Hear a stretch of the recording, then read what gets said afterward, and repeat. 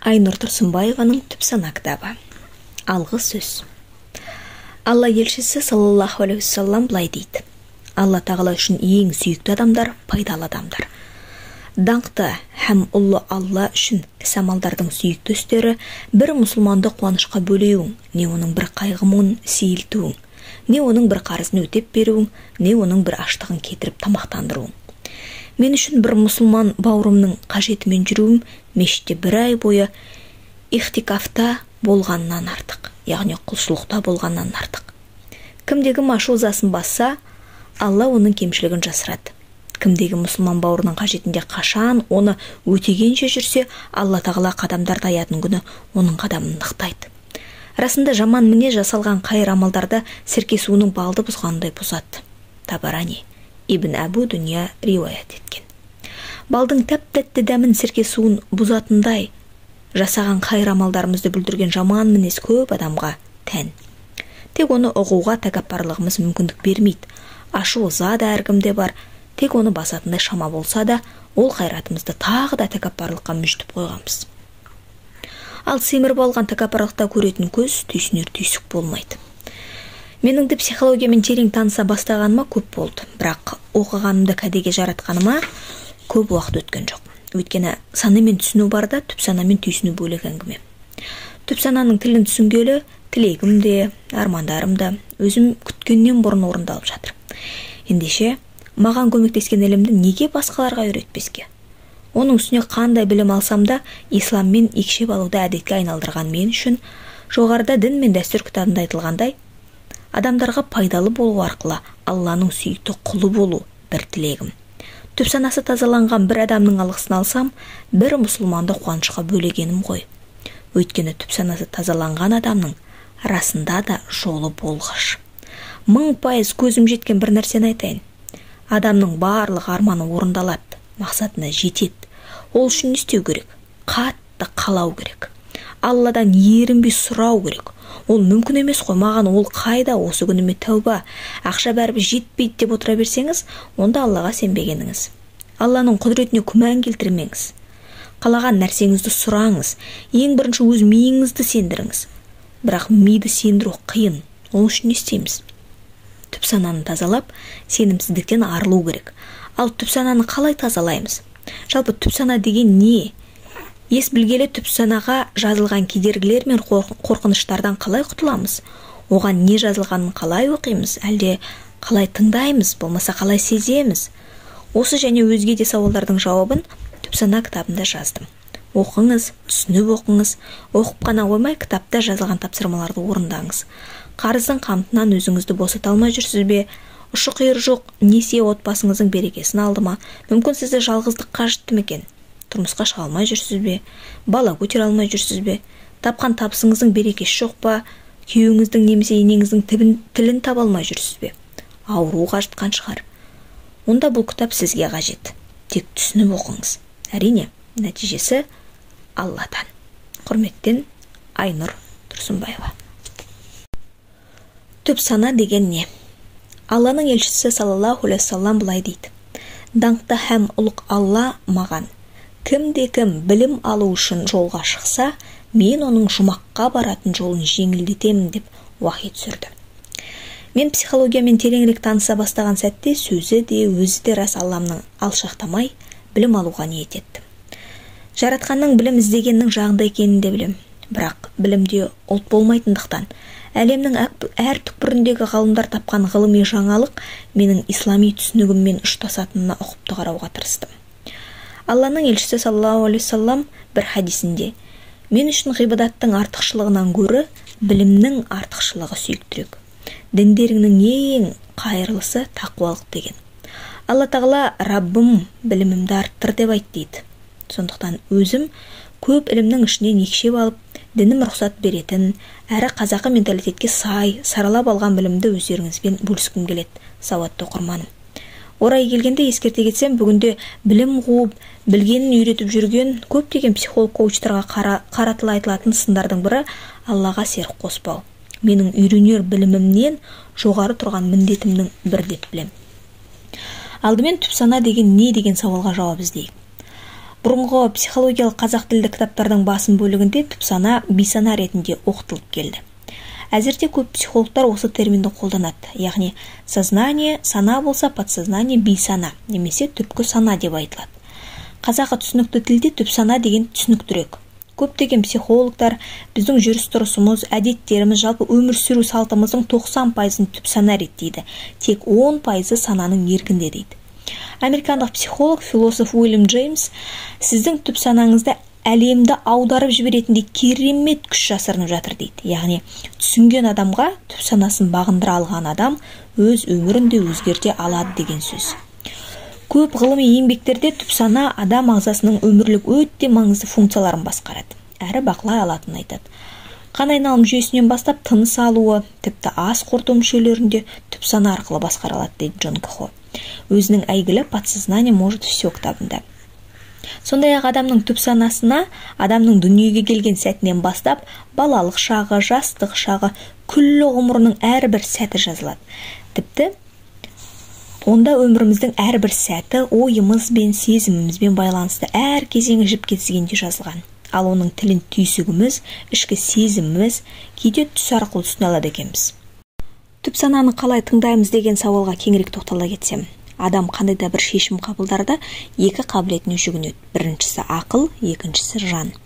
Әрине жаныңыздың дауысын ести алсаңыз қателеспес едіңіз. Бірақ жанның дауысын көп жағдайда естімейміз. Ал ақылға үнемі жүгінеміз. Ақылдың айтқаны санаңыздың бағыты. Жанның даусы тым нәзік. Оны есту үшін миыңыз тынышталуы тиіс. Бірақ біздің басымыздағы сан дауыс миымыздағы секунд сайын сабылып жатқан сан түрлі ой ол дауысты естіртпей жатады. Түсінікті тілде таратып айтайын. Мәселен сіз бір адаммен маңызды кездесуде отырсыз делік. Бірақ сол кездесу барысында сіз тек екеу ара келісімді ғана ойлап отырмайтыныңыз анық қой. Мысалы оқуға кеткен балаңыздың түскі тамағын әзірлеп кетуім керек еді деп ойлап үлгергеніңізше осы кеше азық түлік алғанда ақшаны қолма қол төлеп пе едім? Әлде картамен төледім бе деп есіңізге түсіре бастайсыз. Карта демекші кредит төлейтін күн ертең. Бүгін төлеп тастайын деп ойлап болғаныңызша сөйлесіп отырған қарсы алдыңыздағы адамның көйлегіне көзіңіз түсіп кетеді. Әдемі екен менің анау бір жасыл көйлегім ұқсайды екен деп ойлап үлгересіз. Қараңызшы бір адаммен сөйлесіп отырған адамның ойына оралған сан ойдың біз бір бөлігін ғана мысалға келтіріп отырмыз. Яғни адамның миына сан ой кіріп шығып жатады. Сонда адам сол ойдың қайсысын шешім деп қабылдауы мүмкін? Әрине. Әдетте ақылымызға жүгінеміз. Ақылдың даусымен қабаттаса шығып жатқан жанның еміс еміс естілген үнін көбіміз естімей қаламыз. Енді біріміз мүлде ести алмаймыз. Мысалға бір келіншек бала көтеріп қалды делік. Егер ол келіншектің жаны қалмаса егер ол келіншектің жаны қаламаса аяғы ауырламас еді. Ол бала келіншектің жетінші немесе сегізінші сәбиі болуы мүмкін. Сонда ақылы айта бастайды. Сенің есің дұрыс па? Үйің жоқ. Жалдамалды пәтерде тұрасың. Бәрін қалай асырамын деп отырсың деп жасанды түсік жасатуға үгіттей бастайды. Жанының қалауына ақылы жаншып жатыр. Мен мысалы баламды неге туып алдым екен деп өкінген бірде бір әйелді көрген жоқпын. Ал түсік жасатқаныма өкінем деген өкінішті жиі естиміз. Ол әйел түсік жасатпай тұрып маңайындағылармен кеңеседі олардың да ақылына жүгіну арқылы кеңес береді. Ал жаны жараланған әйел біразға дейін өзін кешіре алмай жанын емдей алмай жүргені. Ештеңе бекерден бекер болмайды. Бойға бала бітті деген сөз алла тағала жан берді деген сөз. Ал біз жаратқанның қалауына қарсы болып ақыл жанның дауысы қатар шыққанда ақылды тыңдаймыз. Сонымен адам миына келген қарбалас ойдың қайсысы жанның ал қайсысы ақылдың қалауы екенін қалай ажыратамыз? Ол үшін медитация көмекке келеді. Миыңызды тыныштандыру арқылы жаныңыздың үнін ести аласыз. Бұл туралы тереңірек тоқталамын мына жайтты ескертуіміз керек. Адам миы ешқашан ұйықтамайды екен. Тіпті біз ұйқыға кеткенде де миымыз тыным таппай толассыз жұмыс істеп тұрады. Ғалымдар күндізгі уақыттан гөрі түн кезінде мидың жұмыс істеу жиілігі артатынын алға тартады. Кейде жұмыс істемесек те тау опарып тас ойғандай күй кешіп шаршап жүретініміздің себебі осы. Сондықтан миды демалдыра тұру керек. Ми медитациямен демалады спортта жаяу жүру жүгіру де миымызды басқа ойға алдарқату арқылы тынықтырып алудың бір тәсілі екен. Адам қандай да бір өзгерісті немесе қауіпті алдын ала біліп тұрса болмаса бір адамдарға қатысты пікір айтады. Бір адамдарға қатысты пікір айтарда ішім сезіп тұр деп жатады немесе көкірегім сайрап тұр дейді ішкі дүнием жаным сезіп тұр дегені. Сондай ақ түйсігім алдамайды деп жатады. Интуициямды тыңдадым деген сөзді де бизнесте жүрген кісілерден жиі естимін. Сонда осы түйсік деп жүргеніміз түп сана ма? Джон кехо өзінің подсознание может все еңбегінде интуицияға қатысты былай дейді. Елестетіңізші өзіңіздің өте сенімді қауіпсіз сезіне алуға мүмкіндік беретін серігіңіз бар. Ол серігіңіз сіздің бар мәселеңіздің шешуін білетін қажеттіліктеріңізді қанағаттандыра алатын сізге қажет мүмкіндіктерге қол жеткізудің жолын көрсете алатын және қай кезде болмасын қасыңыздан табыла қояды. Расында да кез келген адамда осындай серік бар. Ол сенімді серік сіздің ішіңізде ол интуиция деп аталады. Осы еңбегінде джон кехо моцарттың да шығармаларын жазуда шабытты өз ішінен тапқанын мысалға келтіреді. Сол секілді сократ та өзінің ішкі даусына бағынатынын айтқан эйнштейн эдисон маркони генри форд сынды көптеген танымал тұлғалар да өз жетістіктерін интуициямен байланыстырғанын оқыдық. Түп сананы тереңірек зерттеген ғалымдардың пікірінше адамның түс көрген кезі мен оянған сәтінің арасы яғни ояна салған кезі бірақ әлі түсі мен өңін ажырата алмай жатқан ұйқылы ояу сәт шығармашылық пен үлкен жаңалықтардың ашылуы үшін таптырмайтын мүмкіндік екен. Көптеген суретшілер мен композиторлар да дәл осындай уақытта дүниеге келген шығармалардың сәтті шығатынын айтады. Мен үнемі айтып жүрген альфа жағдай осы. Ұйқыға кетер алдындағы сәт те осыған кіреді. Адамдардың тілегін айтып үлгеретін немесе аффирмация айтуға осы сәт керемет мүмкіндік. Таратып айтатын болсам мидың альфа жағдайы бұл шын мәнінде біздің санамыздың кез келген қалауымызды орындата алатын ерекше әрі сиқырлы сәті десек те болады. Адам миы күні бойы төрт ритмде жұмыс істейді. Оны ғалымдар альфа бета дельта және тета жағдайы деп атайды. Мәселен қазір осы кітапты оқып отырған сіз бета толқындасыз. Бұл мидың негізгі жағдайы. Сіз сөйлегенде тамақ ішкенде жүргенде қозғалғанда немесе ойланғанда да сіздің миыңызды санаңыз басқарып тұрады. Бұл бета жағдай деп аталады. Яғни бақылауға алынған саналы әрекеттерді атқарғанда сіздің санаңыз жұмыс істеп тұрады. Басқаша айтсақ сіздің күнделікті тыныс тіршілігіңіз бета толқында өтіп жатады деген сөз. Тек ұйқыға кеткен кезде ғана сіздің миыңыз басқа үш толқынға қосылады. Олар альфа тета және дельта. Соңғы екеуі терең ұйқыға кеткен кезде ғана жүзеге асады. Ал адамның өз қалауын орындата алатын альфа жағдайына қалай кіруге болатынын мен түпсана онлайн сабақтарымда үнемі көрсетіп жүрмін. Техниканы келесі бөлімдерде түсіндіремін түпсаналық сенім жөніндегі сарапшы биолог брюс липтон түпсанаға қатысты қаншама ғылыми зерттеулердің нәтижесі бола тұра әлі күнге өз түпсанасының жұмысын алапат күші бар білмейтін адамдар көп дей келе және түпсананың санаға қарағанда миллион есе күштілігі соншалықты біздің өмірімізді 95-99 пайызға дейін басқара алады бұл ғылыми факт дейді. Ал америка құрама штаты испания және франция елінің ғалымдары бірге жүргізген ғылыми зерттеу нәтижесі бойынша тұрақты түрде медитация жасайтын адам гендік тұрғыдан да өзгеретінін анықтаған. Зерттеу қорытындысы медитация арқылы адамды түпсаналық кедергілерден тазалау кезінде адам ағзасы тіпті молекулалық деңгейде де физикалық өзгеріске ұшырайтын көрінеді. Ғалымдар стресс алған адамдардың медитация арқылы қалпына келу кезінде олардың ағзасында тіпті генетикалық және молекулярлық өзгерістер болғанын байқаған. Зеланд айтады адамның басында бақылайтын және бақылай алмайтын ойлар бар. Кейбіреулер оны ішкі диалог деп атап жүр бірақ ол монолог. Сол адамның өз монологы дейді. Ал сонда көптеген жетістікке жеткен адамдар сезіп жүрген интуиция деген не? Адам ақылға жүгінеді дейік. Яғни саналы әрекеттер жасайды. Ал ақылы жоқ жануарлар неге сүйенеді? Мысалы жер сілкінердің алдында үйдегі мысық алдын ала сезіп қояды екен деген әңгімені бала күнімізден көп еститінбіз. Мәселен венадағы еуропалық географиялық қоғамның ғалымдары зерттеу жұмыстарының нәтижесінде құмырсқалардың жер сілкінісіне бір сағат бұрын белсенді қозғалысқа түскенін анықтап ал табиғи апаттың ертеңінде қайта бұрынғы қалпына түскенін анықтаған екен. Жер сілкінісі жер сілкінісінің алдында ауладағы үй тұрып қорадағы малдың да бейуақытта маңырап берекесі кететін әжелеріміз де айтып отыратын. Яғни жануарлар интуицияға жүгінеді деген сөз. Психологиялық кітаптарда түйсік дегеніміз сыртқы дүниедегі заттар мен құбылыстардың және қасиеттердің сезім мүшелеріне тікелей әсер етуіне пайда болатын мидағы бейне деп анықтап берілген. Ал ол осы түйсік деп жүргеніміз түп санама меніңше түйсік дегеніміз адам жанының қалауы жанның емес ақылдың айтқанын орындаған кезде қателесеміз.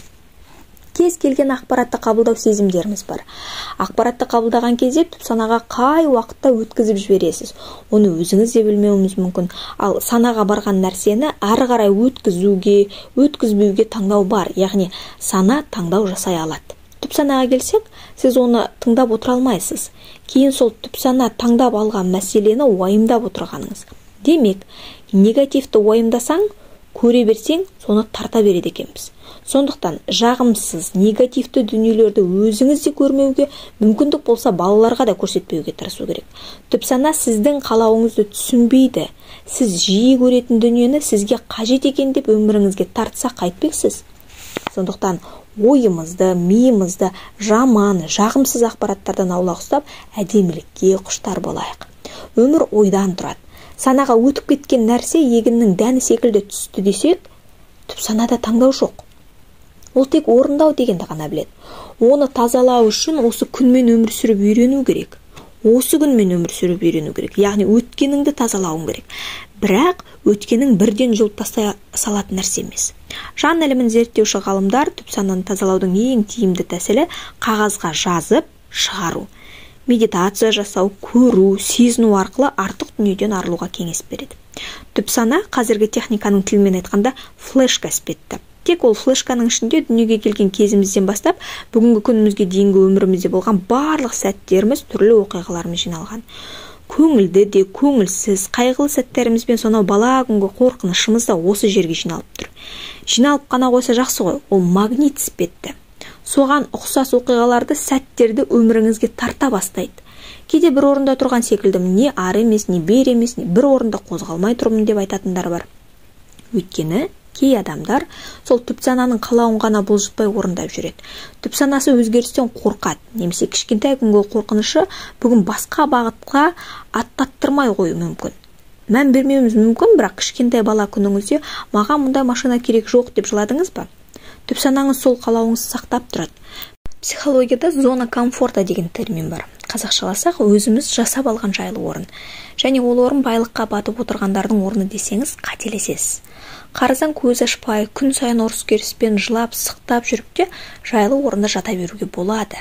Тек қимылдамаса болды. Ең сорақысы осы орындағы адамдар бақытсыз ғұмырын өзгерткісі де келмейді. Және олар өздерін судан таза сүттен ақ періштеміз деп ойлайды. Әкем оқытпаған шешем ұрған күйеуім жалқау енем қатыгез деген сияқты өзінің бақытсыздығына жұртты кінәлап қойып зона комфортаға жайғасып алады. Бір жұмыс орнында 20-30 жылдан тапшылмай отыратындар бар. Өздері мұны мінездерінің тұрақтылығымен бағалап жатады. Бірақ шын мәнінде бұл тұрақтылық емес өзгерістен қорқады. Қызметін ауыстырудан күнделікті жүретін бағытын басқа жаққа бұрудан тіпті имиджін ауыстырудан қорқады. Жылы орны жылжытпайды. Бірақ сол орнынан қозғалған сәтіңізден бастап сіздің өміріңізде оң өзгерістер пайда бола бастайды. Өзгертіңіз өзгеріңіз. Түп сананы тазалау деген не нәрсе?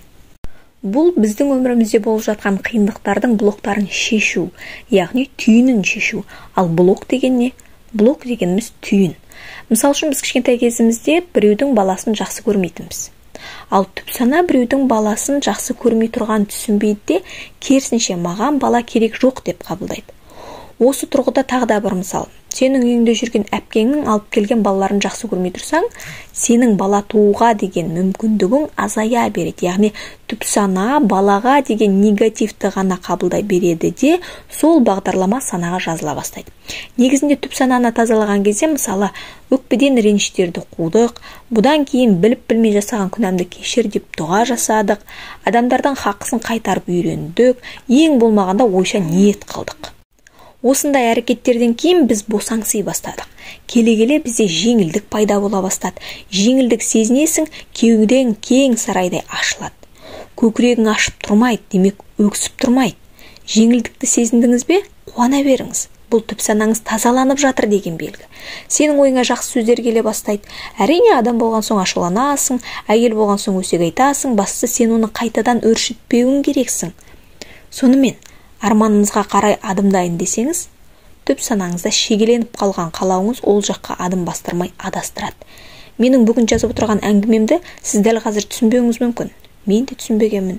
Еріккендердің ермегі деп психологиядан ат тонналы қашатындардың да бірі болғанмын бірақ түсіне бастағалы түп санама да терең бойлай түстім. Тазаладым қорқыныштарымнан арылдым арманыма сенімді қадам бастым. Сіз де түсіне бастаған кезде армандарыңыздың сіз ойламаған жерден орындала бастағанын байқап таң қаласыз. Мен оған сенімдімін. Әлгінде айтқан түп санаңызға шегеленіп қалған дүниенің бәрі сіз қандай мәселеге тап болсаңыз да әлгі флешкаңызды өзі бұрын дұрыс деп тапқан шешімдерді ғана шығарып отырады. Балам тыңдамай жатыр енем ұрсады дейсіз бе? Ал осы проблеманы өзіңіз шақырып отырғаныңызды айтсам сенесіз бе? Иә. Иә сіз өзіңіз осы мәселелеріңізді магнитісіз кітаптың кейінгі бөлімдерін оқып түп сана жұмысымен терең таныса бастаған кезде оның түпкі себебін түсіне бастайсыз. Ал түп сананы түсіну түп сананы тазалаудан басталады. Түп сананы тазалау. Лас судың үстіне таза су ағызса ғана тазаланады. Мен үнемі онлайн сабақтарымда бұл айтқанымды көрсетіп те жүрмін. Өзіңіз стақандағы қара шайға краннан таза су ағызсаңыз біраз уақыттан соң суыңыз ақ түске айналып тазалана бастайды ғой. Солай ма? Түп сананы да дәл солай тазалау керек. Осы күнге дейін өзіңізге қарыз кредит баламен енеңізбен күйеуіңізбен дұрыс болмаған қарым қатынасты магнитше тартқан түп санаңызды қайта программалап алуға болады. Түбегейлі өзгерте аласыз. Айналып келгенде сенім мол. Жазады шығарады сеніп барып жасайды. Одан кейін керекті нәрсеңді өндіруің керек. Тазалау процесі кешенді жүреді. Ойың сөзің дұрыс болу керек.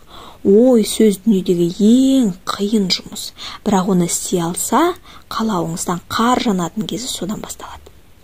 Түп сананы тазалау компьютердің өшіріліп қайта қосылған секілді яғни перезагрузка.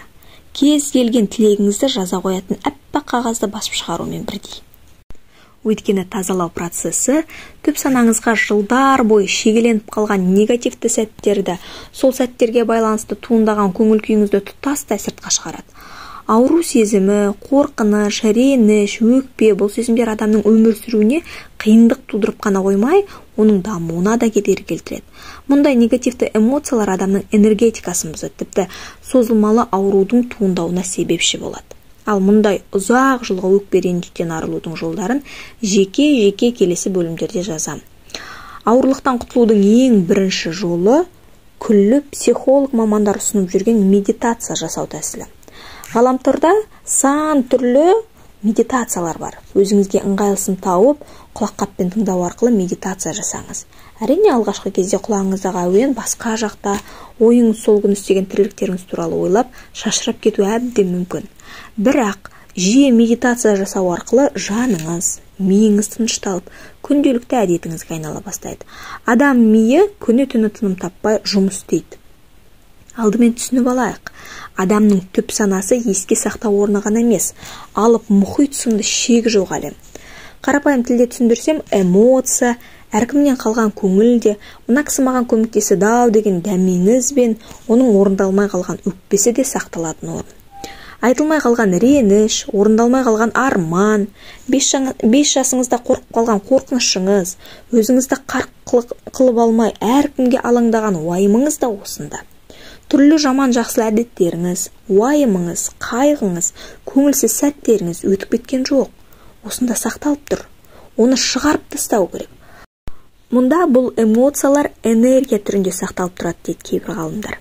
Кейде адамдар бір сәтінің бұрын болғанын айтып қайталанып тұрғанына таң қалып жатады. Ғылыми тілде мұны дежавю дейміз. Немесе мен де ұшақпен ұшудан суға жүзуден фобия деп жатады.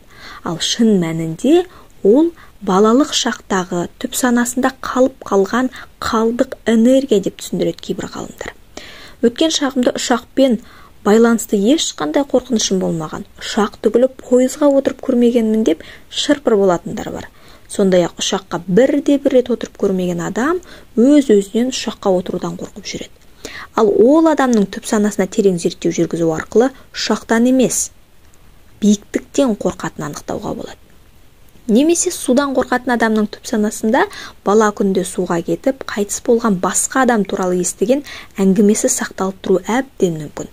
Сондықтан әр адамның қорқыныштан арылуы түп санасын тазалау тетігі де тек сол адамның көмегімен табылады. Түп сананы тазалау арқылы баюға кез келген қалауыңызды жасауға болады. Мүмкін емес нәрсе жоқ. Австралиялық оратор екі қолы екі аяғы жоқ болса да үлкен меценат ник вуйчичтің жизнь без границ атты еңбегінің атауындай өміріне қараңыз ол медициналық тұрғыдан шектелген мүмкіндігінің шексіз шекарасын ашып алған. Төрт баласы әдемі әйелі бар. Оның аяғы мен қолының жоқтығы суда еркін жүзуіне де кедергі келтіре алмағанына қарап таң қаласың. Былтыр ол кісі алматыға келді. Сонда өзі ел алдында шыққан үстелдің үстіне тұрып мен мына үстелден жерге секіремін десем сенесіздер ме деп залға қарап сұрақ қойды. Мен секіретіндігіне сенімді болдым оның қол аяғының жоқтығын сахнаға көмекшілерінің көмегімен шыққан бір сәтке болса да ұмытып қалдым. Неге дейсіз бе? Өйткені оның мүмкін еместі мүмкін қылған қажы қайраты мені сендірді. Бірақ ник жоқ секірмеймін. Қол аяғым сынып қалса қайтем деп залдағы көрерменді күлдірді. Инстаграмдағы парақшасына қарап отырсам үнемі көңілді жүреді. Бір еңбегінде ашулансам бірдем әзілдей бастаймын деп жазыпты.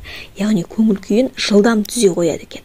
Бірде құжатыма ұзақ үңілген американдық қауіпсіздік бөлімінің қызметкеріне саусақ іздерімнен мәселе бар ма? деп сұрағаным бар дейді. Яғни аяқ қолының жоқтығын мәселе қылмай әзілге айналдырып көңілді жүреді. Сондықтан 12 мүшесі түгел болмаса да езуі жиылмайтын азаматтан үлгі алып таңдау жасаңыз.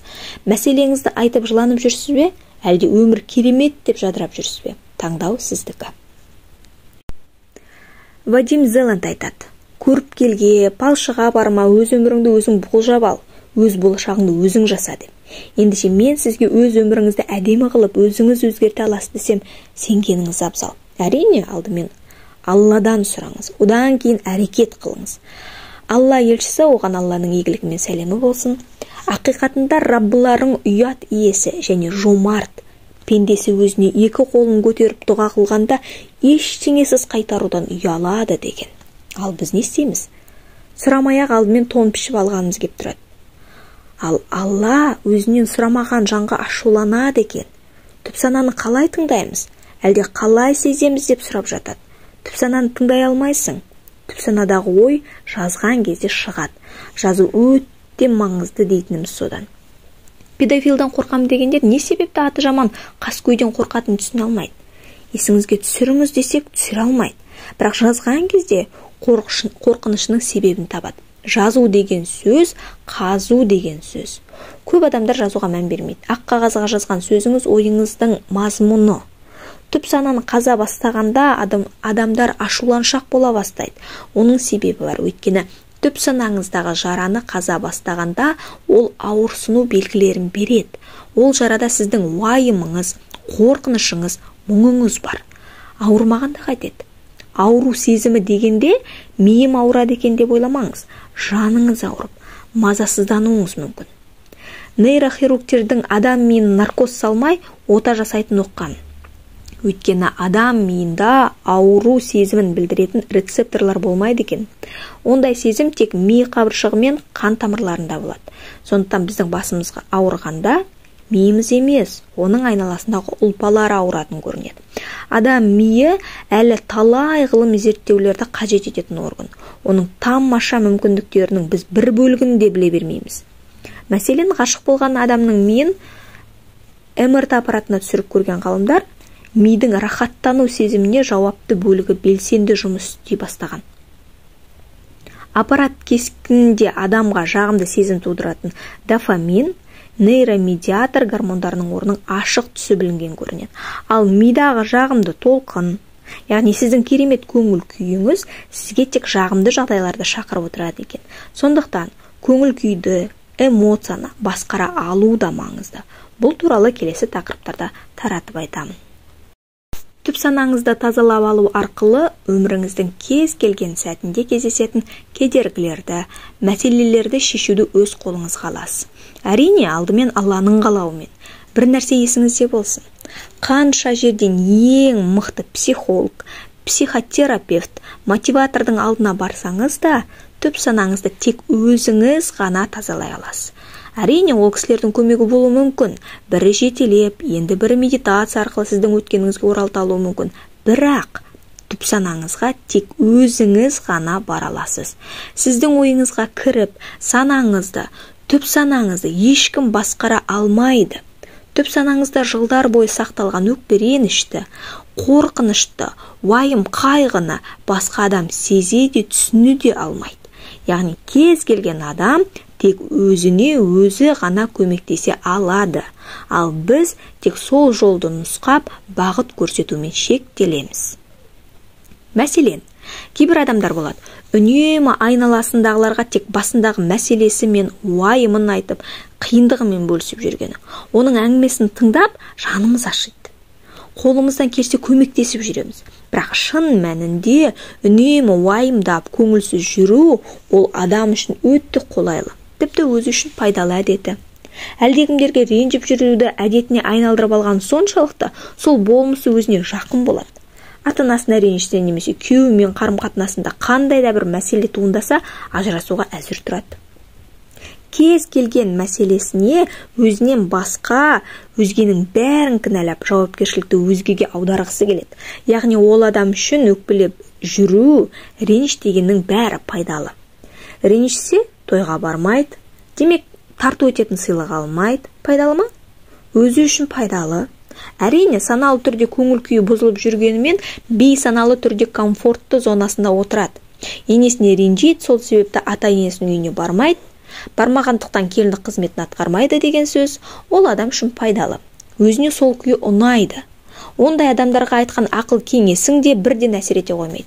Өйткені өзі үшін сол жағдайы тиімді. Түсіндіре алдым деп ойлаймын иә. Тағы бір мысал айтайын.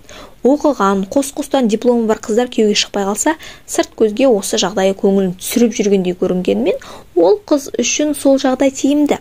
Табысы бар қайда барам қыдырам демейді қайт үйге дейтін күйеуі жоқ. Сондықтан іштей өзі үшін тиімді жағдай жасап алып күйеуге шықпай жүріп алады. Бірақ түп санасы түсінбейінше өзінің неліктен күйеуге шықпай жүргенінің себебін ол қыздың өзі де білмеуі мүмкін. Тағы бір мысал. Бір танысым екінші әйел алатын болып шешім қабылдайды. Ал әйелі болса сол күнге дейін түземеген енесімен қарым қатынасын реттеп алады. Сырын мұңын айтып жүріп енесімен жақын араласты. Нәтижесінде енесі өзінің ұлына егер екінші әйел алатын болсаң мен бірінші әйеліңмен қалам деп талап қояды. Сөйтіп екінші әйел алынбады енесімен етене араласқан келін күйеуінің бабын тауып шаңырағын сақтап қалады тағы айтайын кейбір жағдайлар бізге емес түп санамызға тиімді болып тұрғандықтан біз өзіміз біліп білмей түп сананың деген орындап жүреміз. Кей адамдар қанша жерде жұмыс істесе де ақшасының басы бірікпей баспаналы бола алмайды немесе қарыздан көз ашпай жүргені. Өйткені сол жағдай оның түп санасы үшін тиімді болып тұр деген сөз. Тіпті кедейлік те түп сана үшін тиімді. Кейбір адамдарға ақшам жоқ маған көмектесіңдер деп жүрген ұнайды. Өйткені сол жағдай оған тиімді. Ешкімге еш нәрсе бермейді керісінше елдің бәрі соған береді. Рахат емес пе?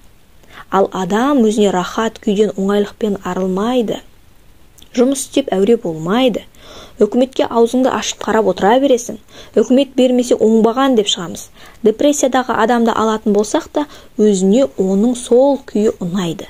Әрине саналы түрде ұнағанын несі деп ойлауыңыз мүмкін. Бірақ оның түп санасына депрессияға кіріп көңіл күйін желеу етіп аяқ қолын аспаннан келтіріп жата берген ұнап тұр деген сөз. Мұның жаманы адамның көңіл күйі сол күйіне сәйкес басқа да жағымсыз жағдайда магнитше тартып отырады екен. Баласы ауырып қалған аналар да өздеріне мұндай қиындықты менің басыма неге беріп отыр деген сұрақты қойып түпкі себебін анықтап көрген дұрыс. Әрине алла тағала баланы ауыртпасын. Бірақ сондай жағдай болған екен өзінің шамасы келмесе арнайы мамандарға барып мұның психологиялық түпкі себебін анықтауға тырысу керек. Түп сананы тазалаудың түрлі техникалары болады. Ол туралы келесі бөлімдерде таратып айтайын. Қорқыныштан арылу. Мен өте қорқақ бала болып өстім. Мектепті бітіретін жылы семейге серікқалиев ағайыммен айтысқа бардым. Пойызбен әрине паскартпен қапталдағы төсекте үстіңгі қабатта ары бері өтіп жатқан жұртты бақылап жатқан. Бір кезде төменгі қабатта сыра ішіп отырған екі еркек ерегісіп қалды. Айғайласып арасында жаман сөздер де кетіп жатыр. Төбелес басталып кетті де біреу қолына пышақ алды. Пышақты сермеген сайын қолы мен жаққа кетіп қала берді. Қорыққанымнан ұстазымды іздей бастадым. Ағай! деп айғайлайын десем тілім таңдайыма жабысып қалған. Бір кезде аяқтарымның сіңірлері тартыла бастады. Сонымен жол, жол серіктер келіп бұзықтарды тыныштандырды. Бірақ әлгі қорқыныш сезімі менде қалып қойды. Біреу ала көзімен қарай бастаса тілім таңдайыма жабысып жүрегім тарсылдайды. Айдаладағы әйел мен күйеуінің дауыс шығарып ұрысқанын көрсем де сол. Осылайша қорқынышты арқалап өте көп жыл жүрдім. Үнемі біреумен пышақтап кететіндей халде жүретінмін. Психологияға алғаш келгенде бірінші осы қорқыныштан құтылуды ойладым. Психологтың көмегімен есіме түскені мынау болды. Шамамен сегіз тоғыз жасымда апам ақсуаттағы аудандық ауруханаға түсті. Бір күні апамды сағынып ауруханаға келдім. Коридорда күтіп отыр едім кушеткамен қансыраған бір адамды алып келе жатты. Тамағы осылған бірақ тірі ес түссіз мен дәл жанынан өтіп бара жатқан кезде қорыққанымнан орындықтың астына кіріп кеттім ау деймін нақты есімде жоқ. Сәлден кейін апам шыққан кезде бісміллә бісміллә деп таңдайымды басты. Аллаға шүкір өз өзіме жұмыс жасап жүріп осы қорқыныштардан құтылдым. Қорқыныштың бір жаман жері миға тыныштық бермейді. Сенімді азайтады сабырды тауысады сондықтан қорқып жылап сықтап жүре бермеңіз тоқтатыңыз.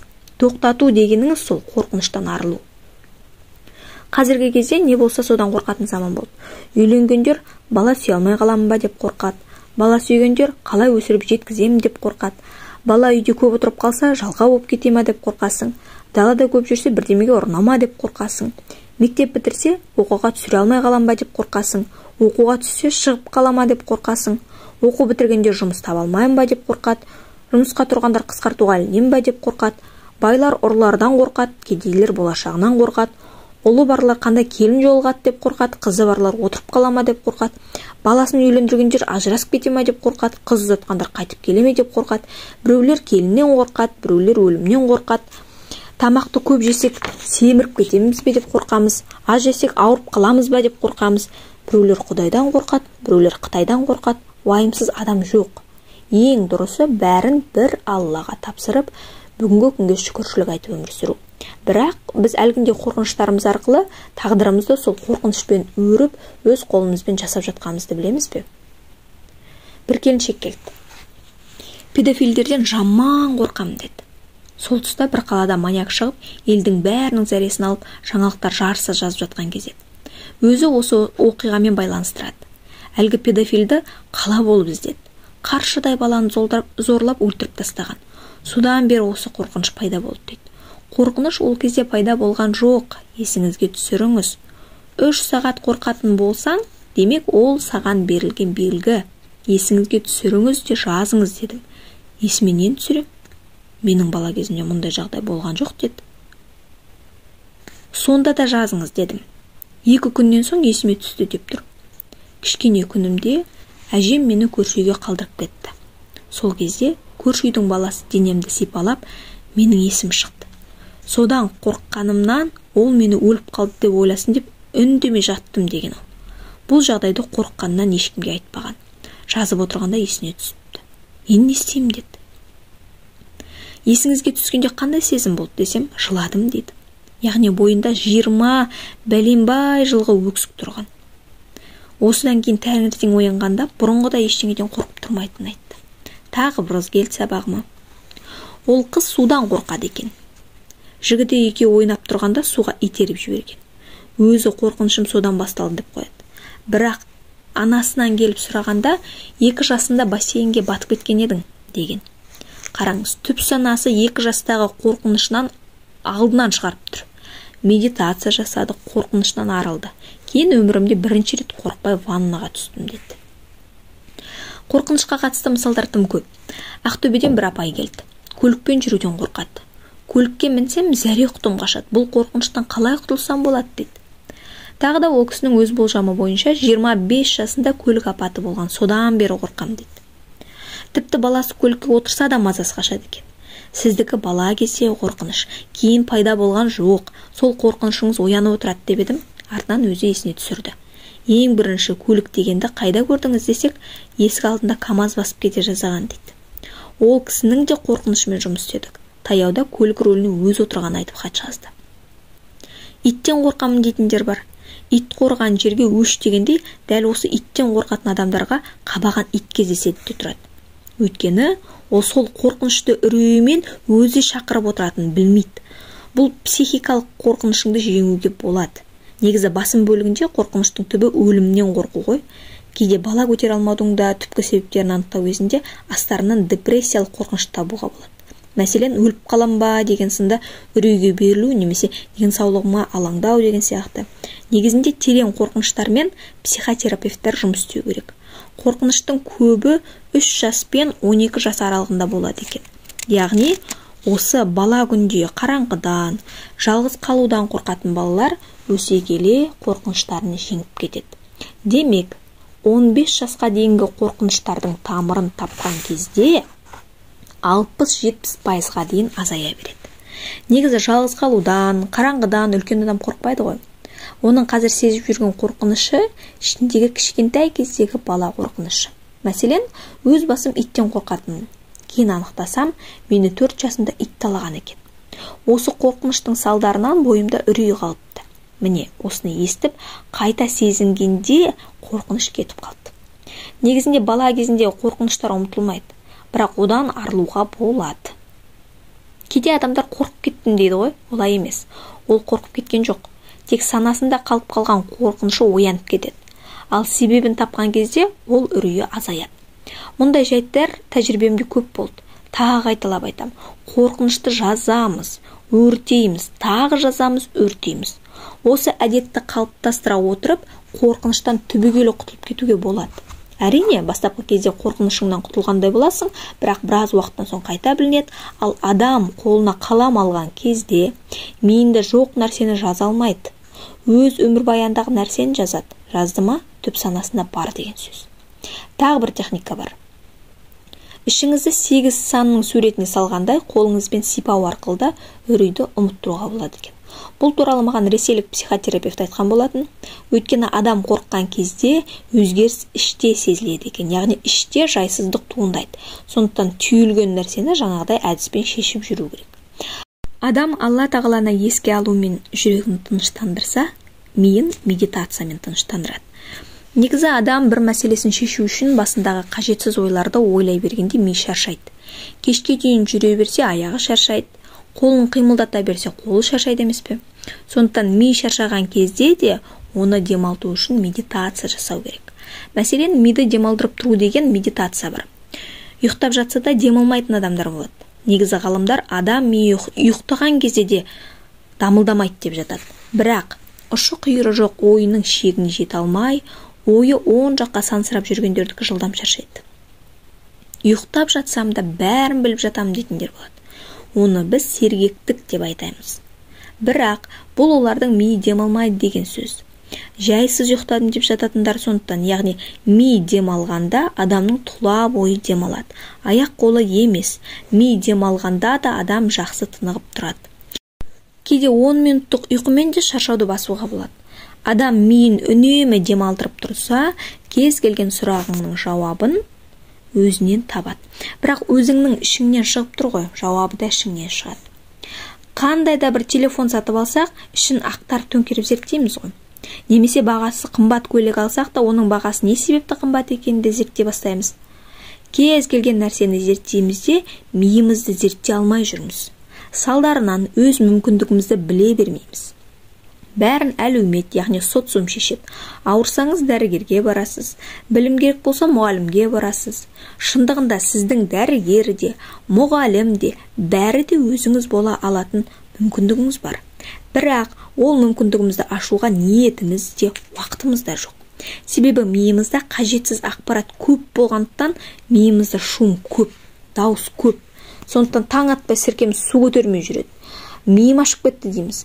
Біле білсеңіз кез келген депрессияның түп тамыры ми ашудан басталады. Босанғаннан кейінгі синдром деген бар. Мысалы әйелдерде үйде отырып та шаршадым деп жатады. Неге?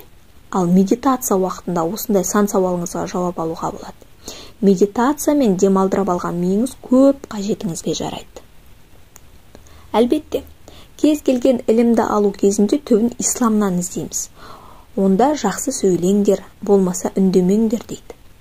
Сондықтан да өз өміріңді өзің жаса өз миыңды пайдалан дұрыс сөйле деп жатырмыз. Адам қай кезде қорқады? Адам алладан бетін сырт бұрғанда қорқады. Әлбетте қорқыныш үнемі бізде бойымызда. Мәселен қасыңда әкең келе жатса қараңғылықтан қорықпайсың. Ал өзіңмен өзің қалғанда бойды үрей билейді. Қорқасың. Кредит қарызымнан құтыла алмаймын деп бұғып отырсаңыз отыра бересіз. Құтыла алмайсыз. Қорқыныштың түрі көп ал оны жеңудің жолы бар ма? Ендеше адамның қорқуы уайымдай беруіне себеп. Иманының әлсіздігінен егер кімде кім иманын күшейтсе еш нәрседен қорықпаған болар еді. Өйткені ол аллаға сенеді. Алла өзі реттейді бәрін деп алаңсыз уайымдамай отыра береді. Сәттілік деген нәрсе бірде бар бірде жоқ. Сондықтан аузыңызда шүкіршілігіңіз түспесін. Бұл техника туралы келесі тараулардан оқып орындаңыз. Онсыз сіздің қолыңыздан ештеңе келмейді. Ешкімге ештеңе бермесеңіз сізге де ештеңе берілмейді. Садақаңды бер шүкіршілігіңді жаса содан кейін ғана жағдайымды жасашы деп талап ете аласың. Түп сананы біз тіл арқылы былғаймыз деп мен үнемі айтамын сондықтан әсіресе әйел адамдар тілімізге ие болғанымыз жөн. Ал өкпе реніш қорқыныш деген сезімдеріңіз болса оны түп санадан арылтып тастамайынша аффирмацияңыз да арманыңыз да орындала қоймайды. Мидағы қорқыныштан қалай құтыламыз? Алдымен ол қорқынышты тәптіштеп жазамыз. Мен жалғыздықтан қорқамын қараңғыдан қорқамын деп. Анықтап алғаннан кейін неге ол қорқыныш сізді мазалайды? Өткенді еске түсіресіз. Балалық шағыңызға да барып қайтасыз. Кейде өзіміз білеміз қандай қорқынышымыздың барын бірақ есімізге түсіргіміз келмейді. Себебі жанымызды ауыртып ескі жараның аузын тырнағымыз келмейді. Асықпай ойланыңыз. Өмір бақи ойланып қашқақтап жүргенше есіңізге бір рет түсіріп құтылыңыз. Әрине еске түскен сәтте жаныңыз тырналып уақытша депрессияға түсіп жасыңызға ерік беріп баяғы сәттер есіңізге түсіп қиналарсыз. Бірақ сол сәтті есіңізге аласыз да шығарып тастайсыз. Бітті ол қорқыныш сізді енді мазаламайтын болады. Ұл балалардың қорқақтығын жеңу үшін атпен шабу техникасы жақсы көмектеседі. Баланың жауырыны иығы өседі және қорқынышы азаяды. Жалпы атқа міну техникасы қыздардың да қорқыныштарын жеңуге көмектеседі. Кешірім. Кешірім жолын ұста. Дұрыстыққа бұйыр. Білместіктен аулақ бол. Құран кәрімде жазалау сөзі 117 рет келсе кешірімді болу кешіру жайлы екі есе көп айтылған. Яғни 234 рет кездеседі. Бұл көрсеткіштен құранда жазалаудан гөрі кешірімділікке үлкен мән берілгенін білуге болады.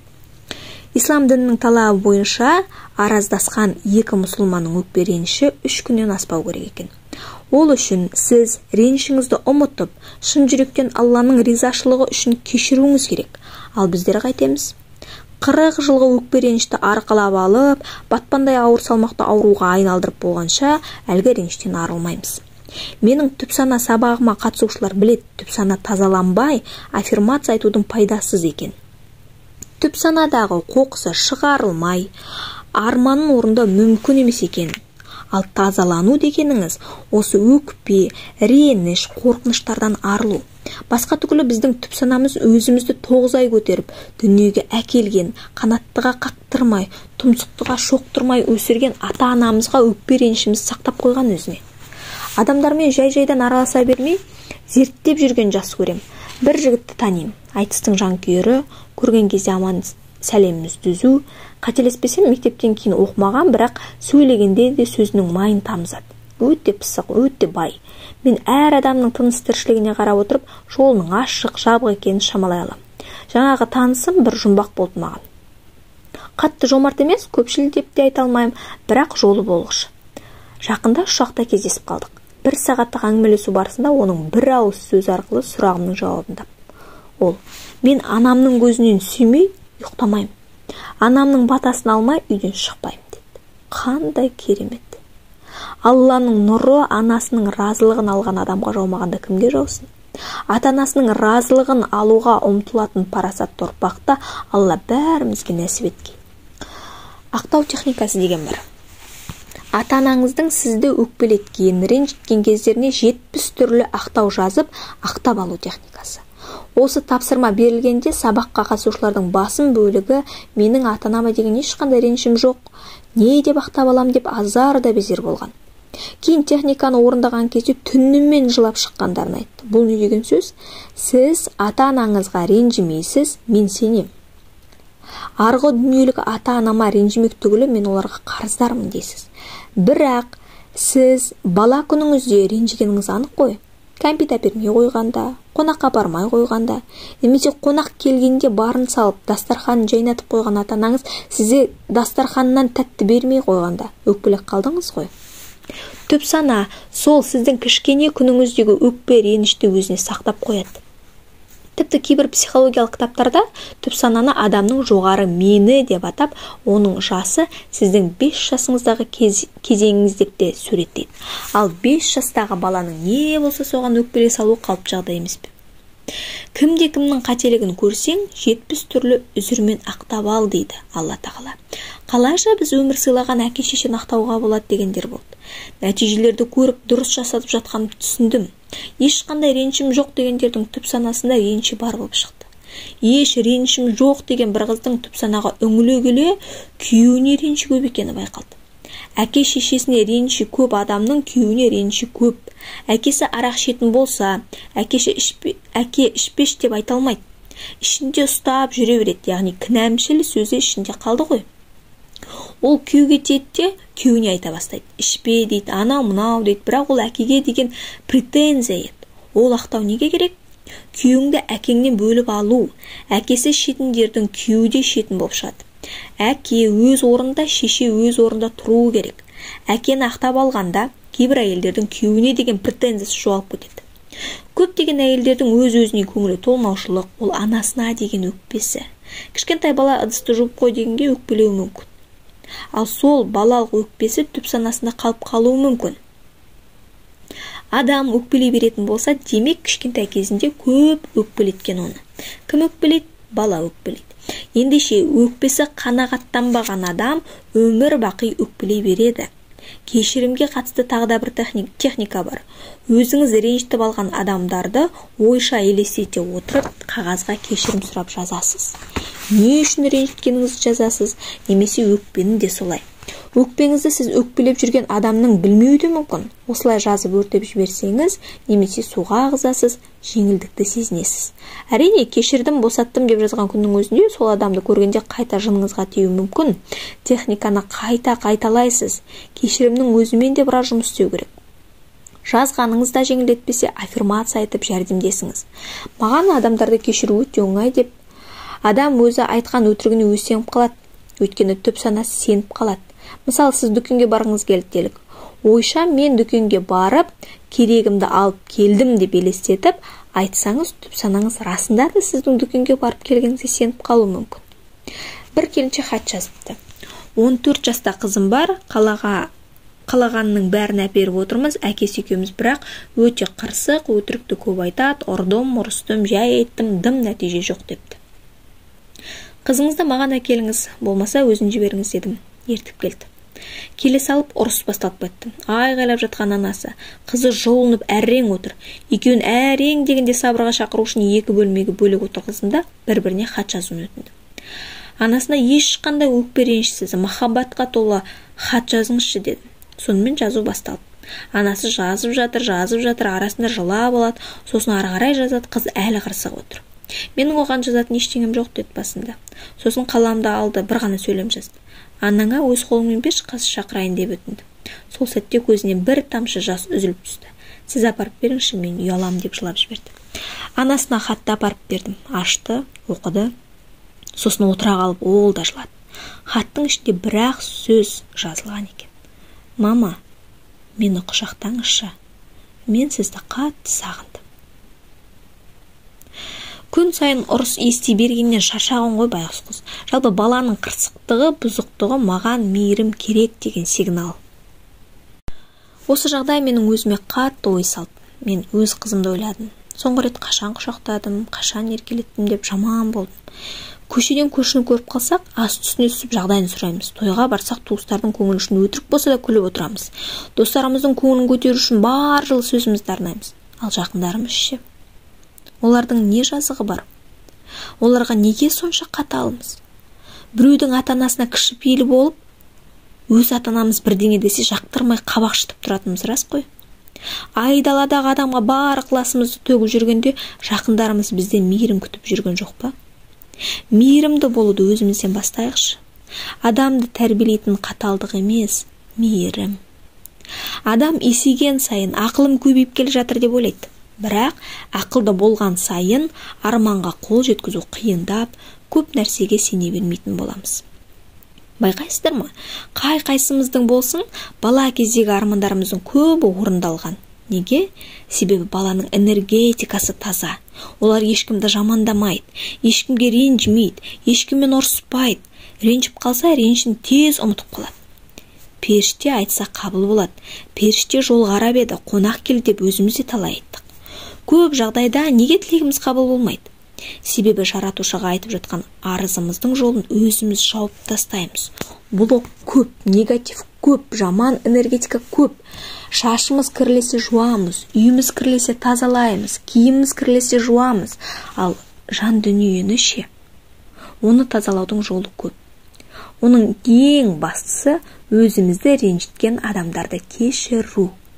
Қанша қиын болса да кешіріңіз сонда өз жолыңыз ашылады. Кешірім жүректі жұмсартады. Кешірім денсаулықты нығайтады. Кез келген ауырып жүрген адаммен сөйлесіп көріңізші әйтеуір біреуге реніші бар. Кешірім бақытқа да байлыққа да жол ашады.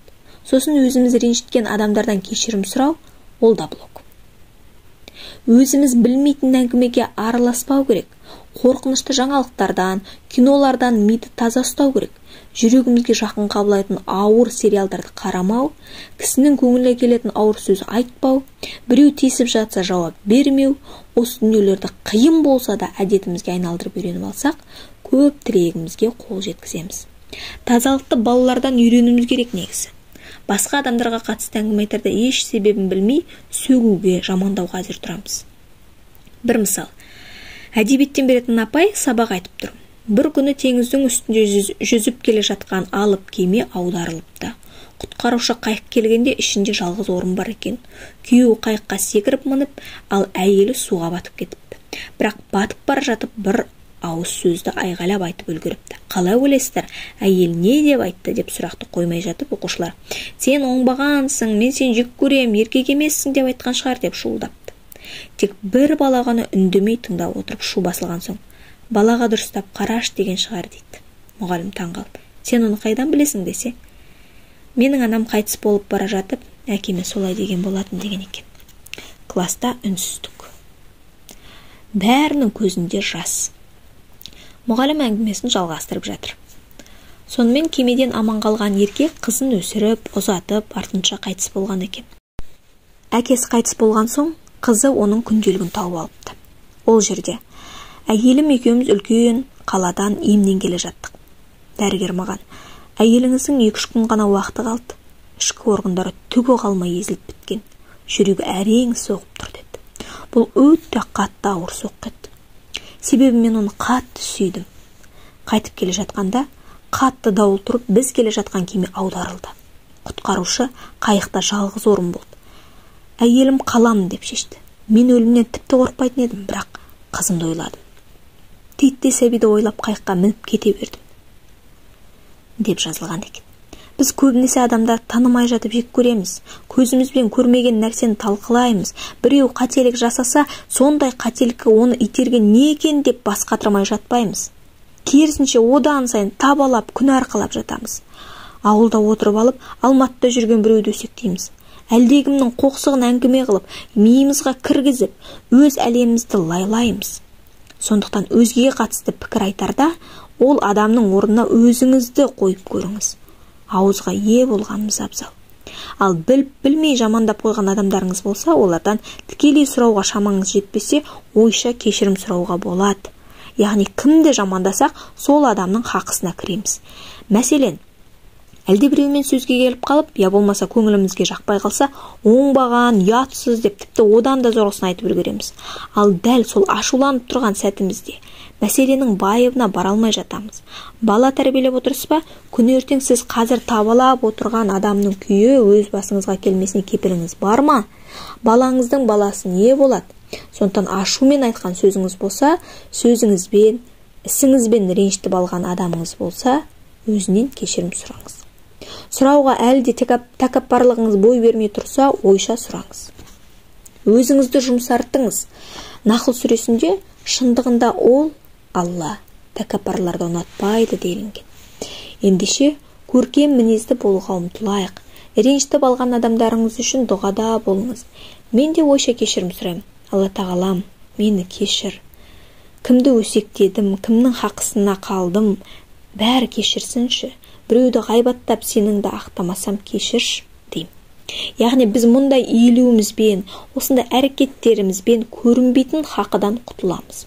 Әрине елдің бәрін қақсатып алып кешірім сұрап күнәмді жуып шайып аламын дегенде болмас.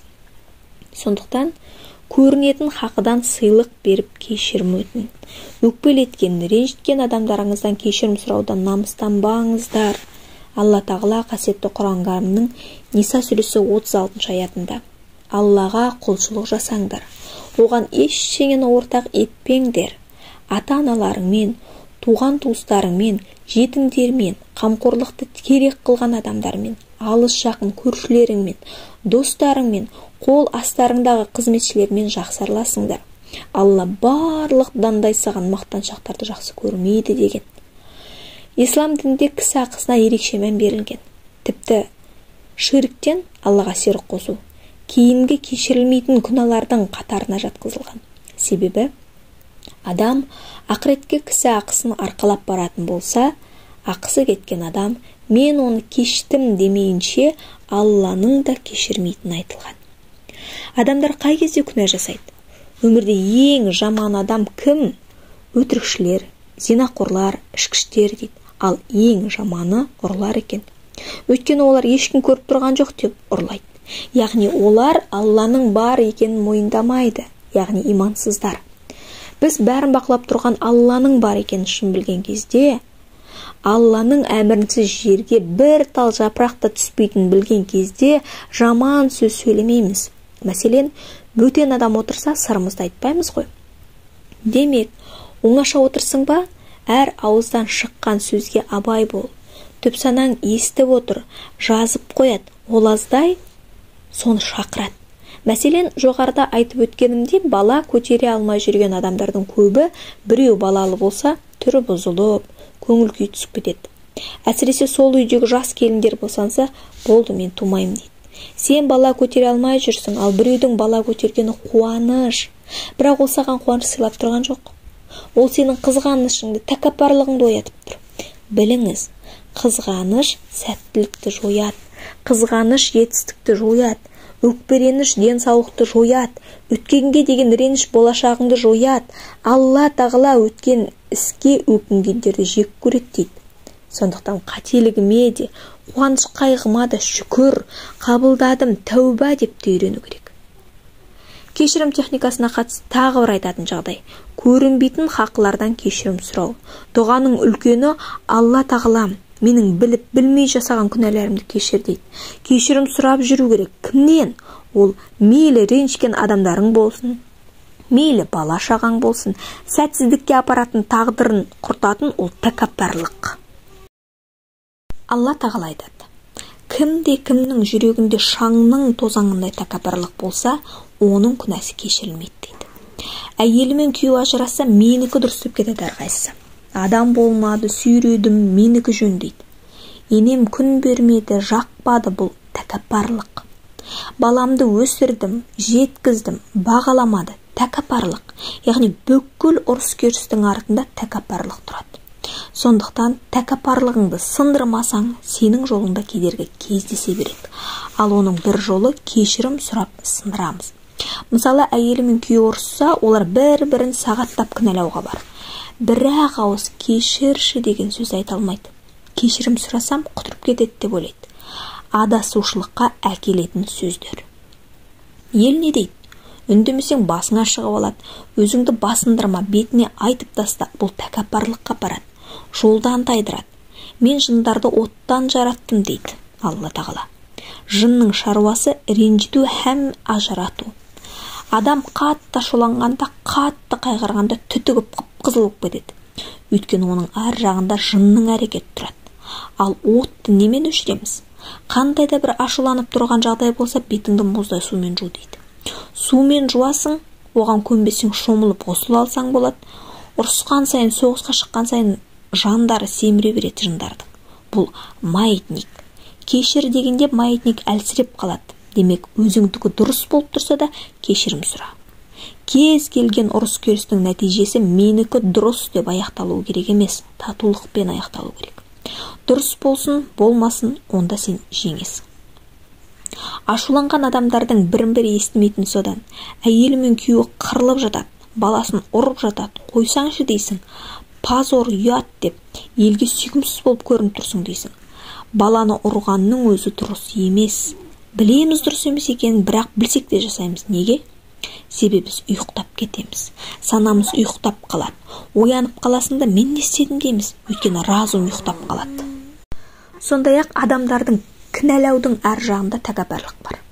Мен сөйлегім келеді бірақ ұялам негізі сөйлеуім керекпін ғой. Мен неге сөйлемей тұрмын деген сынды ұялудың әр жағында да тәкаппарлық бар. Мұнда ешкімді кінәлаудың қажеті жоқ. Тек тәкаппарлық арқылы өзіңнің потогыңды жауып тастайтыныңды ұмытпа. Ата ананы ақтаудың артында да тәкаппарлықтан аса алмайтын жандар бар. Мысалы бір қыз айтады мені апам баққан деді. Білсек анасы жұмыс істейтін болған соң баласын тастайтын жер болмаған ал әкесі тастап кеткен. Осылайша қызын апасына бақтырған ғой. Мен оны қатты сағындым іздедім бірақ ол маған келмеді. Ал оған деген менің сағынышым жүрегімді теседі дейді. Тағы бір қыз жазды. Мені босанатын үйде тастап кетті анамның түрін де білмеймін деп. Енді бір қыз жазыпты. Мен әкемді ақтай алмадым ол мені іздеп келмеген мен тастап кетіп қалған ал оны қалай ақтаймын деп. Бірақ оның жанында туған әкесі зорлаған қыздардың арасында да әкесін ақтап алғандар бар. Елдер айтады қалай зорлаған әкесін ақтап алған? деп. Алла тағала әке шешеңе қарап тіпті туф деме деген. Бұл алланың бізге берілген бұйрығы. Оның жанында ренжу деген не? Міне психологияның түп тамыры сол жерден басталады алла тағала кешіріп жатқанда біз кешірмейтін кімбіз? Кешірмесең кешірілмейсің. Өзімізді де жетіп жатыр ғой күнәларымыз. Кешке дейін өсек айтамыз бала шағамызға ұрсып тастаймыз талай адамды талқыладық талай адамның хақысына да кіріп кеткенбіз. Ал сөйтіп отырамыз да адамдар неге ақтап алғысы келмейді дейміз? Өйткені өкпе реніш деген нәрсе ауыр жүк. Ал адамдар неден қорқады? Адамдар сол жүк кетіп қалған соң орнын немен толтырам деп қорқады. Яғни босап қалудан қорқады. Оларға одан да біреуді кінәлап ренжіп отырған пайдалырақ сияқты. Сол үшін де ешкімді ақтағысы келмейді. Жаңағы өкпе реніштің орнын яғни кеңістіктен бостықтан қорқады. Мысалға өмір бақи ренжіп ренжіп ренжіп келді де енді ренжіштің бәрін ұмытқасын оның орнын бір нәрсемен толтырып керек қой. Содан да басқа немен айналысатынын білмейді. Оқытқан жоқ мен әке шешем баққан жоқ қараған жоқ маған мейірімді көрсеткен жоқ содан мен бақытсыз болып қалдым деп осылай біреуді кінәлау тиімдірек. Олар үшін егер әке шешесі кінәлі болмаса басқа біреу емес. Жауапкершілікті өз мойнына алу деген сөз. Ал жауапкершілікті ешкім алғысы келмейді. Сондықтан да ақтай алмаймын деген желеуді ұстанады. Әрине ақтай алады тек жауапкершілікті саналы түрде алғысы келмейді. Кеңістікті немен толтырам деп қорқақтайды мынадай да жағдай болды. Тараздан бір келіншек жеке қабылдауыма жазылды. Күйеуіммен ажырасып кеткем. Айтуынша күйеуі нағыз тиран болған. Ұрған соққан содан кейін шыдамаған ол. Бір қызмен ажырасқан. Кейін бір еркекпен көңіл қосып одан бала туады. Ол еркектің бес баласы бар. Ал әйелі алқаш екен жаңағы әйел сен басқа біреуге кететін болсаң мен өз өзімді өлтіремін бір күні суицид жасаймын деген екен. Ал еркек біріншіден осыдан қорықса екіншіден егер кетіп қалса балалары қараусыз қалады. Ішімдікке салынған әйелі балаларына қарамай ешкімге айтпай үйден шығып кетіп қалатын әдеті бар. Сол үшін мен балалардың қасында қалуым керек деп ойлайды екен. Ал енді қараңыз сол қыздың әкесі кезінде жүріс жасайды. Сол кезде шешесі оны біліп қояды да ойнақ жасаған әйелдің отбасына барып ойранын шығарады. Сен білесің бе сенің қатының жүріс жасайды деп содан кейін күйеуі әйелін өлтіріп қояды. Содан бұл бір күні менің пациентіме көрші әйел айтады. Сенің мамаң болмағанда тып тыныш жүретін едіңдер ғой бәрін құртты ғой деп. Яғни осы жайт менің миымда қалып қалған. Мына еркектің әйелі де өліп қала ма? деп қорқам. Осы еркекпен қалайын ба қалмайын ба білмей тұрмын. бір жағынан кетіп қалайын десем қайда барам жақсы көрем? Кетпейін десем қашанға дейін оны қашан келеді екен деп күтіп жүре берем. Ол сенің күйеуің болды ма ұнады ма саған десем жоқ ұнамады. Өлтіргісі келді ғой ол. Тиран ғой дейді. Екі қызы бар бірінші күйеуінен. Екі қызың бар шыныңды айтшы сен күйеуге тисем қыздарыңа тиеседі деп қорқасың ба десем иә қорқам дейді. Қараңызшы енді қорқам деп тұр. Бірақ бұл еркек өзінің тапсырысы ғой.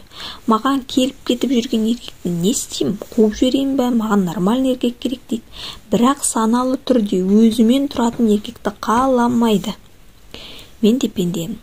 Қателіктерім көп болды. Тіпті бір кездері кейбір адамдар менен сырт айналды. Өз айналамнан бастап қатты өте қатты кінәлаулар бола бастаған соң мен түні бойы дұға тіледім. Аллам менің абыройымды арттыршы деп. Осыншалық күнәһар оңбаған нашар адам болсам да менің абыройымды арттыршы. Мен осы қателіктерді қайтып жасамауға уәде берейін. Бірақ маған бір мүмкіндік берші дедім қазір менің айтыстарымның ютубтағы видеоларының қаралымы 10-15 мың болса психологиялық сабақтардың көрсетілімдердің қаралымы 500 мыңға дейін жетіп жығылады. Мен айтыскер ақын ретінде зал толы адамды жинай алмаған болсам ол адамдар тек менің ақындығыма келіп отыр. Ал қазір мені тыңдайтындар менің тренингіме келетіндер мені тұтасымен қабылдаушылар. Сондықтан өз тәкаппарлығыңызды өзіңіз сындырмайынша басқа біреудің келіп сындыруын күтпеңіз. Өз тәкаппарлығыңызды өзіңіз сындырып үйреніңіз мойындап үйреніңіз. Басқалардың сізден артықшылығын мойындап үйреніңіз. Әсіресе өзінің ең есін дұшпан көретін адамдар оның артықшылығын да минусқа жіберіп отырады. Дәлірек айтсақ енем тамақ істесем жағаласып жүреді дейді. Негізінде мен тамақ істегенде енем көмектесіп жанымда жүреді деген қандай ғанибет? Ал бірақ біз тәкаппарлық кезінде плюстың өзін минус қылып көреміз. Ендеше тәкаппарлығымызды өзіміз сындырған кезде алла тағала бізге нығмет береді өте көп нығметтер береді. Елдің бәрі еңбек етпей ақ жайдан жай байып кетті дейсіз бе ниеті таза ұстаса ғана адам байиды. Амалдан ниет жақсы дейді. Ал ниеттену үшін оның жолдары бар. Мысалы үшін дұғамды айтайын. Я аллам егер менің білімім пайдалы болса маған берекелі байлық бер деп дұға тілеймін. Яғни менің қазір алып жатқан дүние жаратып жатқан ақшамның берекесі бар ма жоқ па мен осыдан байқаймын. Берекелі ме? Демек мен беріп жатқан білімім пайдалы. Ал көрінетін хақы дегенге біреудің қандай да бір мүлкін иемдену көз жасына қалу қарыз жолын кесіп кету бұл көрінетін хаққа жатады. Ал көрінбейтін хақы ғайбаттық жол. Біреуді ренжітіп алып хақысын өтемей сен жәннатқа кіре алмайсың. Мың жерден тақуа болсаң да. Мысалы сен біреуді жылатып қарызын алып алып жолын кесіп намазға келіп тап таза болып кете салсаң оның көз жасына жауап әйтеуір бір беріледі. Сол үшін хақысын ал кешірім сұра. Бұл дүниеде кешірім алып алған оңайырақ болады. Сондай ақ жала жабу да көрінбейтін хаққа жатады.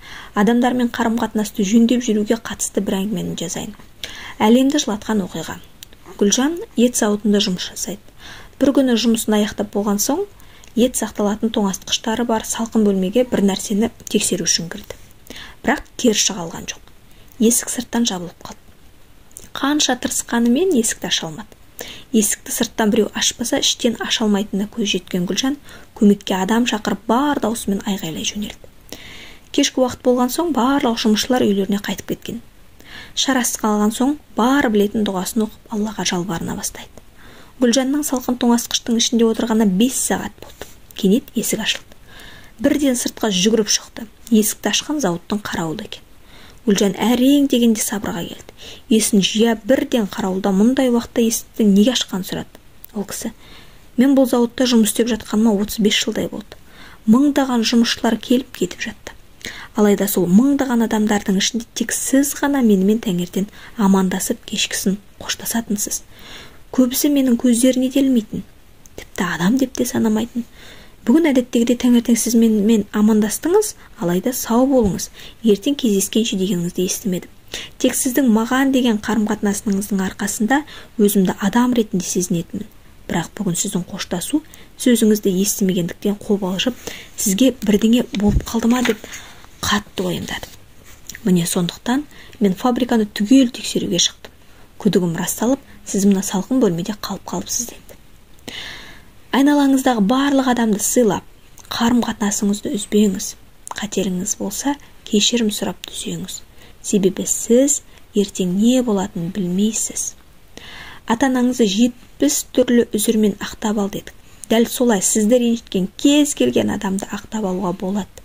Ұрғанды да зорлағанды да қорқытқанды да ақтап аламыз. Ақтауға келмейді дегенде жағдай болса қалам алып қағазға сол адамға хат жазамыз. Әкеміз бе шешеміз бе ағаңыз ба кім сізді ренжітті сол адамға хат жазасыз. Және сол адамның атынан өзіңізге хат жазыңыз. Мәселен әкесі тастап кеткен қыздар өзіне былайша хат жазуға болады. Қызым мен сен тастайын деп кеткен жоқпын. Менің екінші отбасым болды. Сол сәтте шешім қабылдай алатындай шамам болмады. Кешір деген секілді хат жазасыз. Немесе сізге кішкене күніңізде қол көтерген анаңыздың атынан мен баланы қорқытып тәрбиелеу керек деп түсіндім. Менен қорықса пысық болады деп ойладым деген секілді анаңыздың атынан өзіңізге хат жазасыз. Кез келген адамның ісін әрекетін кешіре алмай жүрсеңіз алла тағала қаншама күнәмді кешіргенде менің алла разылығы үшін сол адамды кешіруге неге күшім жетпейді? деп сұрақ қойыңыз. Жауабы өзіңізге ұнайды. Пайғамбарымыз саллаллаху алейхи уассалам кішілерге мейірімді болмаған үлкендерімізге құрмет көрсетпеген адам бізден емес дейді. Ал ата анасына реніші бар адамның жеке өмірі де жақсы бола бермейді. Сондықтан мүмкіндіктеріңіздің келген жеріне дейін ата ананы ақтап алыңыздар. Алланың елшісі саллаллаху алейхи вассалам алланың разылығы ата ананың разылығында. Алланың ашуы ата ананың ашуында деген. Көрдіңіз бе? Ата анаңызды ренжіту арқылы кешірмеу арқылы алланың қаһарына ұшырауға болады. Исра сүресінің 23-24 аяттарында раббың өзінен басқаға құлшылық қылмауларыңа және ата анаға ізгілік жасауларыңа бұйырды. Егер олардың біреуі не екеуі қартайса ол екеуіне түх деп те айтпа. Оларға дауыс та көтерме. Оларға тек жақсы сөз сөйле. Оларға мейірімділік пен кішіпейілділіктің қанатын жайып раббым кішкентайымда мені тәрбиелеген секілді оларға сен де рахмет! деп айт дейді алла тағала. Енді ойланыңыз алла тағала ұлықтаған адамдарды сіздің ренжітуге кешірмеуге хақыңыз бар ма? Сондай ақ егер сіздің қандай да бір адамды ақтап алуға ашуыңыз ренішіңіз жібермесе тәкаппарлығыңыз да оянып тұр деген сөз. Мәселенің осы қырында қараңыз. Қарапайым адамда тәкаппарлық болмайды. Пайғамбардың саллаллаху алейхи қарапайымдылығы туралы ибн мәже риуат еткен мындай әңгіме бар. Тіпті мәдина жұртының бір кішкентай күңінің өзі талабын орындату үшін алла елшісін саллаллаху алейхи вассаламның қолынан жетектеп қалаған жағына апаратын деген. Ал бүгінде ақтап алу түгілі екі бауырдың дүниеге таласып сот табалдырығын тоздырып жүргендерді де естіп жатырмыз. Егер етене жақын адамыңызбен қарым қатынасыңыз қисық болса ақша келеді басқа келеді деп армандамай ақ қойыңыз келген күннің өзінде бір жағыңыз қисайып тұрады. Сондықтан бауыры туған туысымен қарым қатынасына сызат түскен жандар түзеңіздер кешіріңіздер ақтап алыңыздар. Алланың елшісі оған алланың игілігі сәлемі болсын былай деген. Мұсылман адамның бауырына сырттай жасаған дұға тілегі қабыл болады. Оның басында арнайы белгіленген періште тұрады. Кісі бауырына қайырымдық тілеген кезде белгіленген періште әмин саған да сондай қайырлық болсын деп тілейді екен. Өз өзіңді емдеп ал. Өткен айда бір апаймен жеке кездесу жасадым. Қатты ауырып жүрген соң қызы қоймай маған алып келіпті. Сөйлесіп отырып жазылуға ниетін байқасам аузымен жазылғысы келеді. Түп санасы басқаша сөйлеп тұр. Апайдың бала шағасы қалаға оқуға кеткен. Былтыр күйеуі қайтыс болған белі ауыра бастаған сонымен ауруы асқына берген. Неге? Себебі апа жалғыз қалған. Ауырып қалдым деп хабар жібергенде бала шағасы шуылдап жинала қалады. Ішқұса болып жалғызсырап жүрген адамның түп санасына ауырсам бәрі қасымда болады екен деген бағдарлама орнай бастайды. Сонымен апамен біраз сөйлесіп ішкі сағынышын қозғап ауырмай ақ бала шағасының қасында бақытты өмір сүруге болатынын түсіндіруге тырыстым. Қалаға балаларының қасына көшетін болды. Жалпы көңіл күй түсе бергеннен ауру асқына бастайтынын адамның өзі де байқамай қалады. Көбінесе ауру ішкі күйзелістен жалғызсыраудан ұзақ уақыт ренжіп жүргеннен пайда болып жатады. Сондықтан ешкімге ренжімеңіздер өздеріңізге зиян. Француздың психотерапия саласында ерекше емдеу әдісін ойлап тапқан эмиль куэ деген әйгілі психологы мықты фармацевт ғалымы бар. Ол адамның сөзі арқылы ойын өзгерте алатынын айтып ауыр науқастардың өз өзін емдей алатын ерекше тәсілін ойлап тапқан. Оның үстіне эмиль куэ өте ауыр науқастармен психикалық жүйке ауруына ұшыраған адамдармен жұмыс жасаған. Сонда оның әлгіндей науқастарға арнап ойлап тапқан дәрісінің қарапайым ғана құпиясы бар екен. Ол дәріні науқастар қабылдар кезде менің денсаулығым керемет деген мазмұндағы сөздерді айтып ішуі тиіс болған. Ал психикалық аурудан қаншама адамды жазған әлгі сиқырлы дәрінің құрамын зерттеген ғалымдар оның кәдімгі аспирин дәрісі екенін анықтапты. Сонда эмиль куэ адамды ауруынан жазатын дәрі емес сенім деген. Куэ адамды ауруынан айықтыру кезінде түп санасындағы ойлардың көмегіне жүгінетінін айтқан.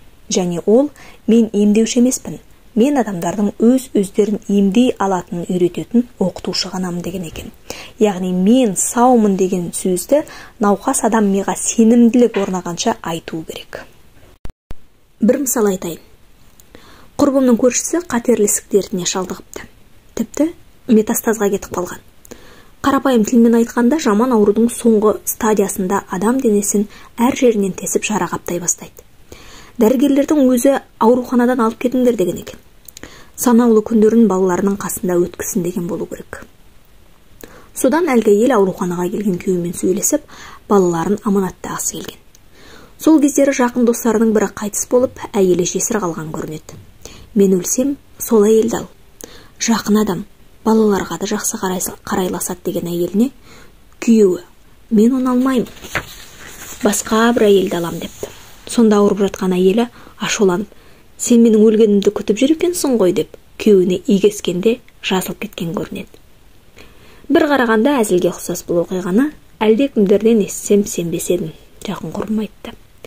Әлгі әйелдің өзі өлгеннен кейін күйеуім қайғырмақ түгілі әйел алғысы келіп жүр екен ғой деген ойы оны төсектен тұрғызған гиппократтан адам денсаулығына мықты әсер ететін не деп сұрайды? Сонда бірінші сөз. Екінші пышақ үшінші дәрі деген екен.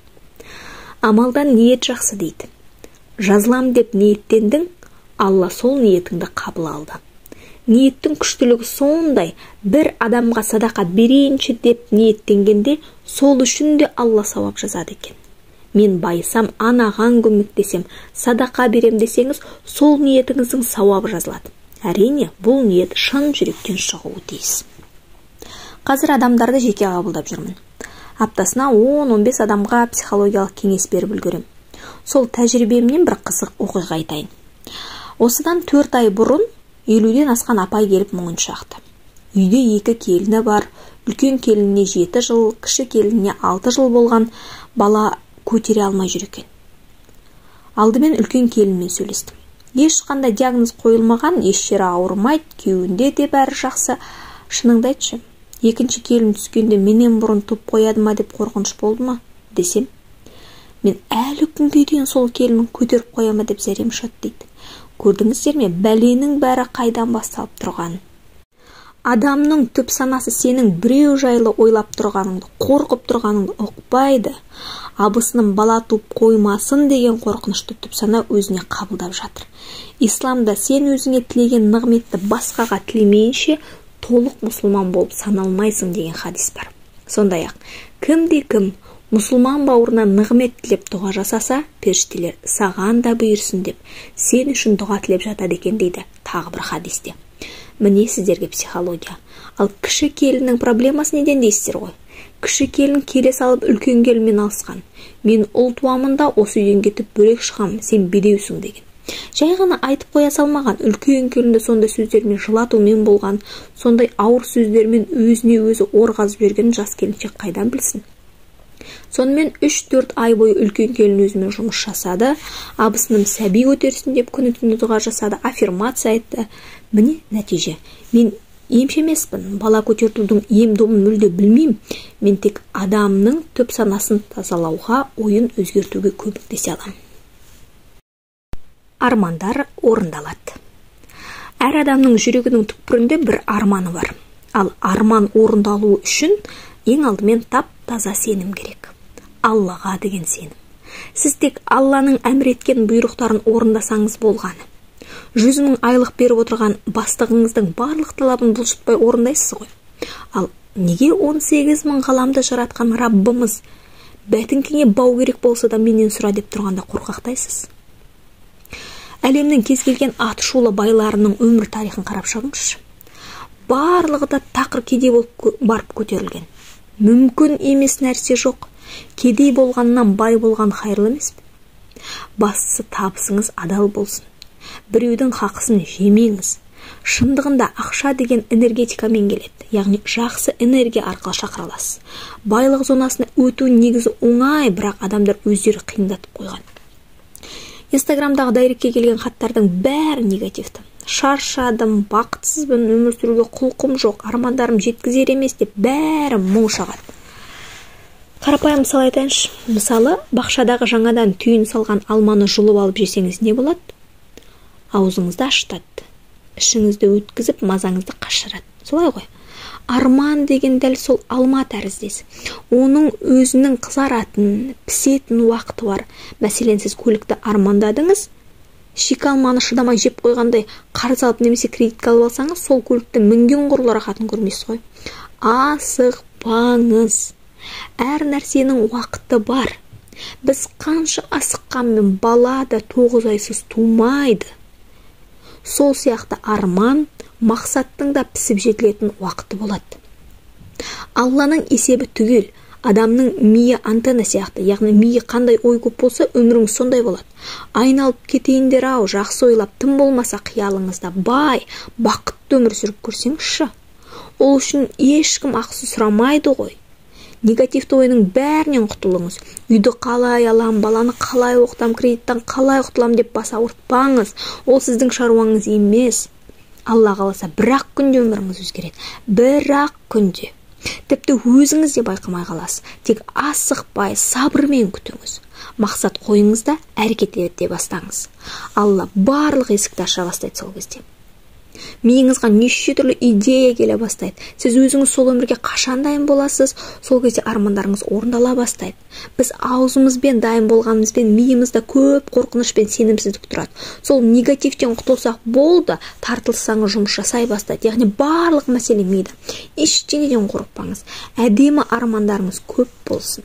Арманға тез қол жеткізудің жолын айтайын ба? Ең жек көретін адамыңызға өзіңізде жоқ нәрсені тілеңіз. Иә аллам бәленшеге баспана бер көлік бер бала бер бәрін бер бақыт бер деп тілей беріңіз. Сосын періштелер дұшпаныңа да жақсылық тіледің яғни барлық дұғаң қабыл болуға лайық деп сіз үшін тілектес болады. Кімде кім жақсылық жасауға ниеттеніп бірақ жасамаса хақ тағала оны толық жасалған бір жақсылық есімде, есебінде жазады. Егер де жақсылық жасауды ұйғарып әрі оны жүзеге асырса алла тағала сол бір ғана жақсылығы үшін он сауаптан бастап жеті жүз есеге дейін тіпті одан да еселеп сауап жазады. Ендеше басқа адам үшін дұға етіңіз. Аффирмация. Алла тағала мүміндерге адамдарға жақсы сөз сөйлеңдер деп бұйырған.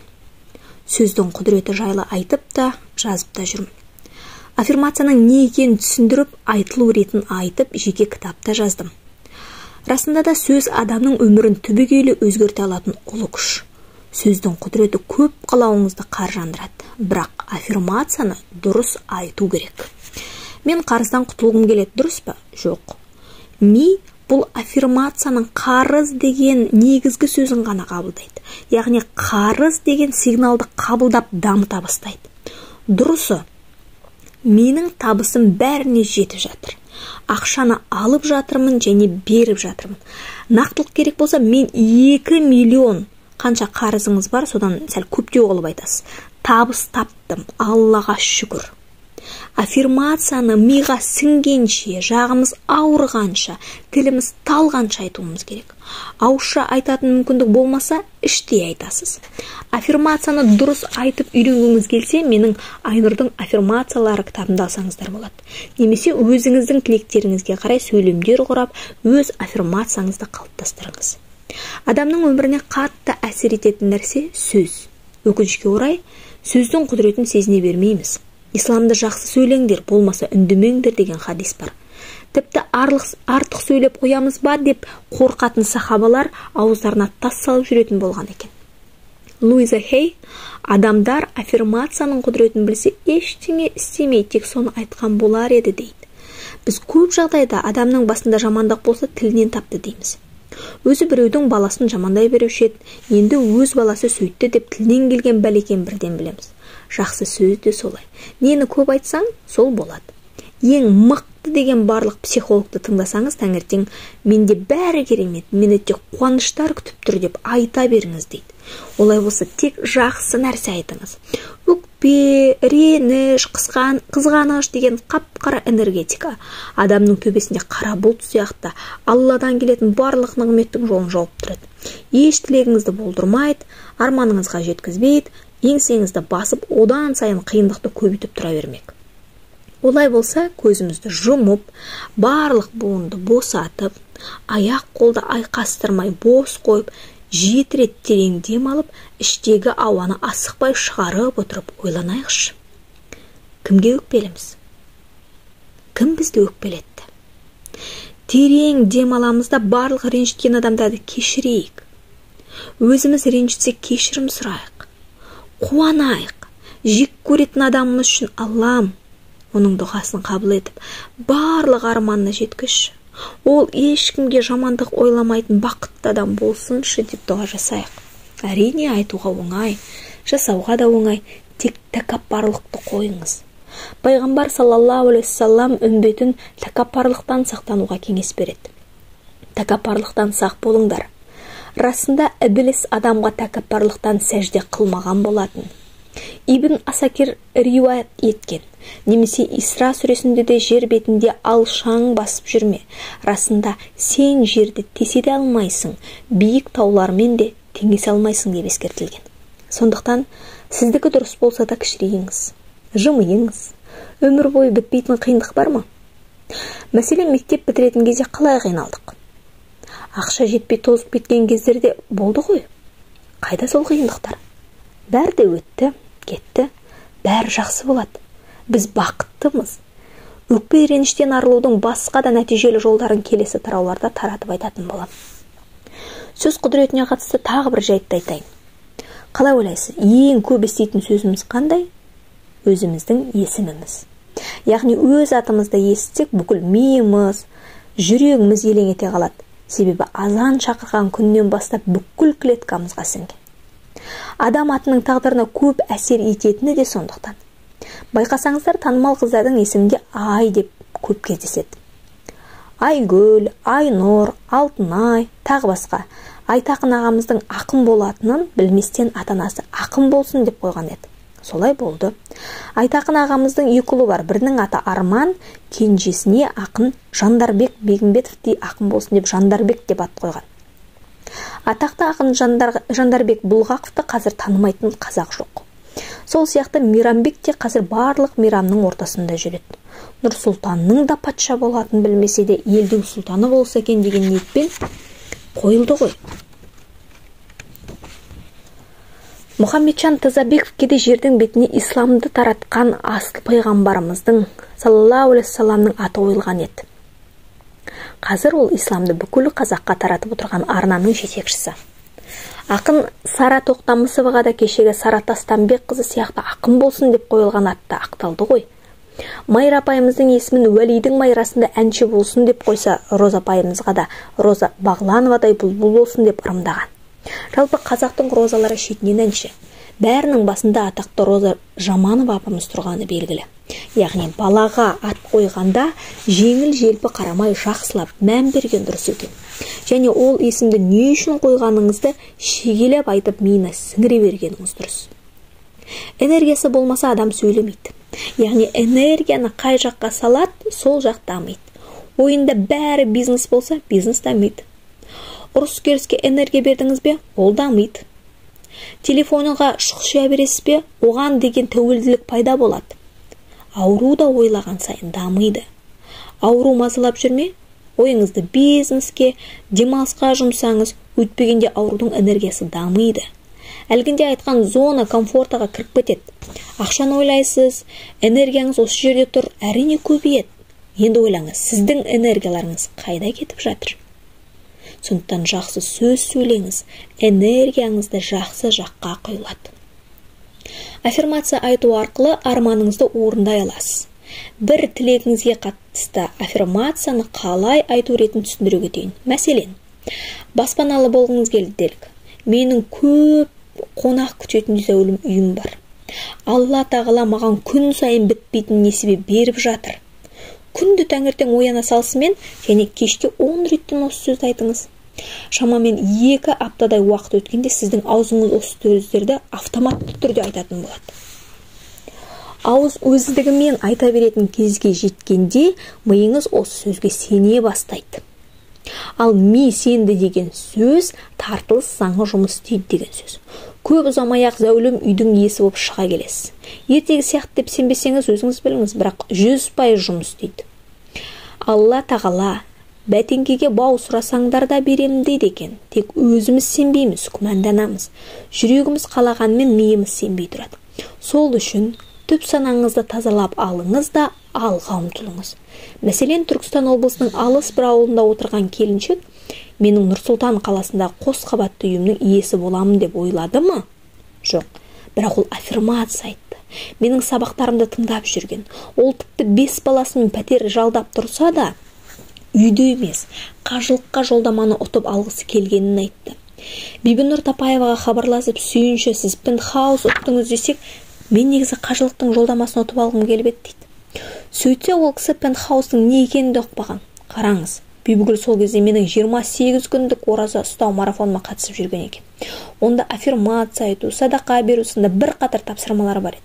Бұл туралы осы кітапта бөлек тараумен жазамын айтпағым бибігүл марафонның тапсырмаларын мұқият орындап жүрген. Айнұрдың мотивациялар кітабын күйеуіне айтпай сатып алып оққан оқып қана қоймай орындау керек тапсырмаларды орындаған. Ол сенген тапсырмаларды мұқият орындады. Нәтижесі әне? Аяқ асты баспаналы болу деген шын мәнінде аяқ асты бұйыра салмайды. Ол сіздің алладан тілеген тілегіңіз дұғаңыз басқаға жасаған жақсылығыңыз берген садақаңыздың сөйлеген сөзіңіздің нәтижесі.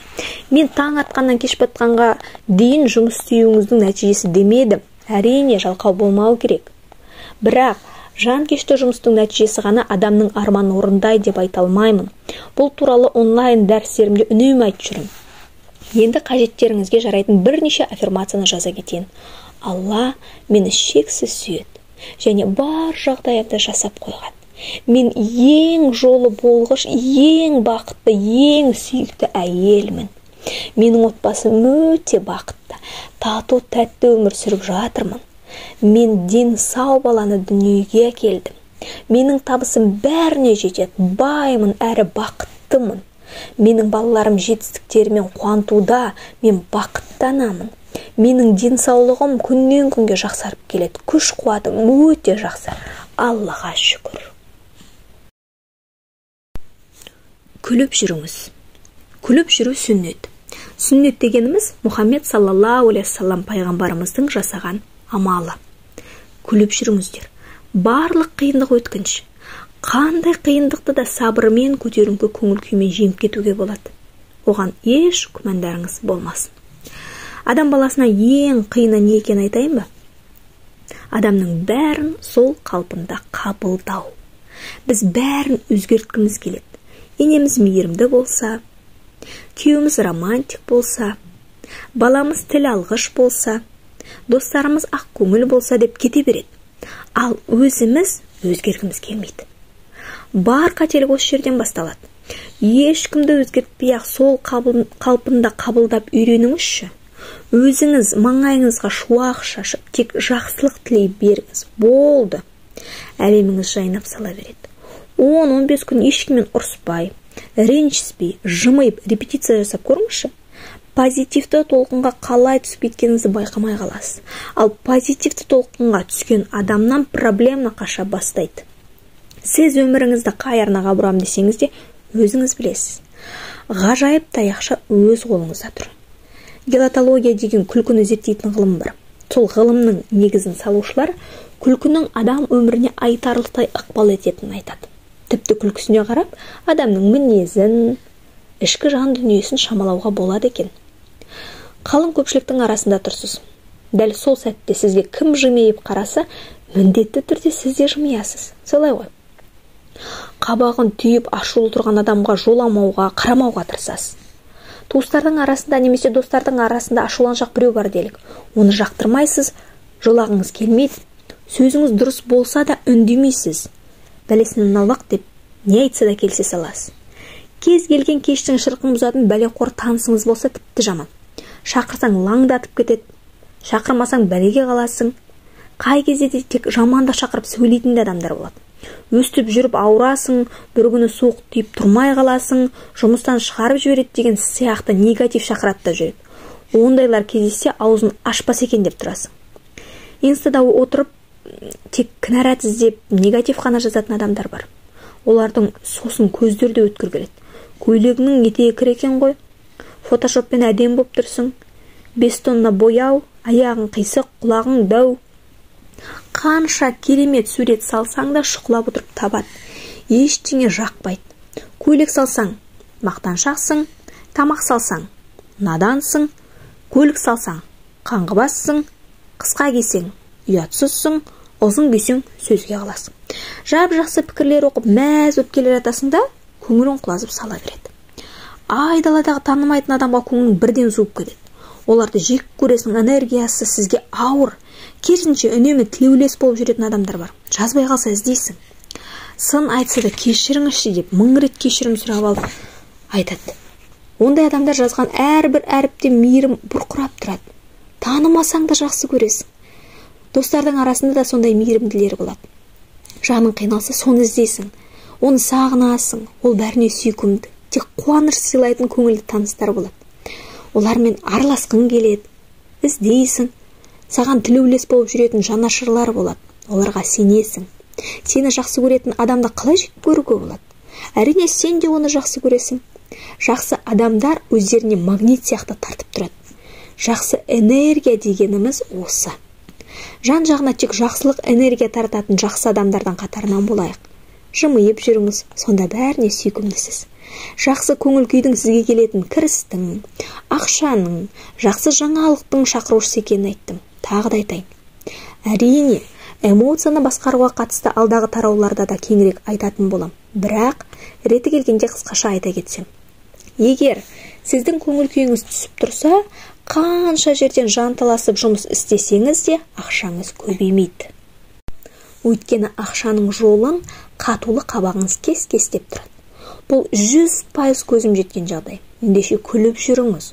Соншалықты қиын емес қой. Қиын десеңіз арнайы техникасын да айтайын. Телефоныңыздың таймерін әрбір жарты сағатқа немесе бір сағат сайын шырылдатын қоңырауға қойып қойыңыз. Шырылдаған сәтте жымиясыз. Бастапқы кезде өзіңіздің бұл әрекетіңізді ешкім көріп қоймады ма деп жан жағыңызға жалтақтап есі ауысқан екен деп ойлап қалмасын деп есіңіз шығуы мүмкін. Кейін осы езуіңіздегі күлкі сізге жағымды жағдайларды тарта бастағанда кім не ойласа оны ойласын өзім үшін күліп жүрем деп шешім қабылдайтын боласыз. Дәл осы техниканы жасап көрген оқырманнан мынадай хат келді. Күлу техникасын жасап көрердің алдында үйде ылғи ұрыс керіседі техникадан кейін бір жарым ай үйде ұрыс жоқ. Яғни сағат қоңырауын қойып ол шырылдаған кезде күлеміз дейміз де отбасымызбен күлеміз. Басында өтірік күлген едік кейін үйреніп кеттік. Тамаша әдіс.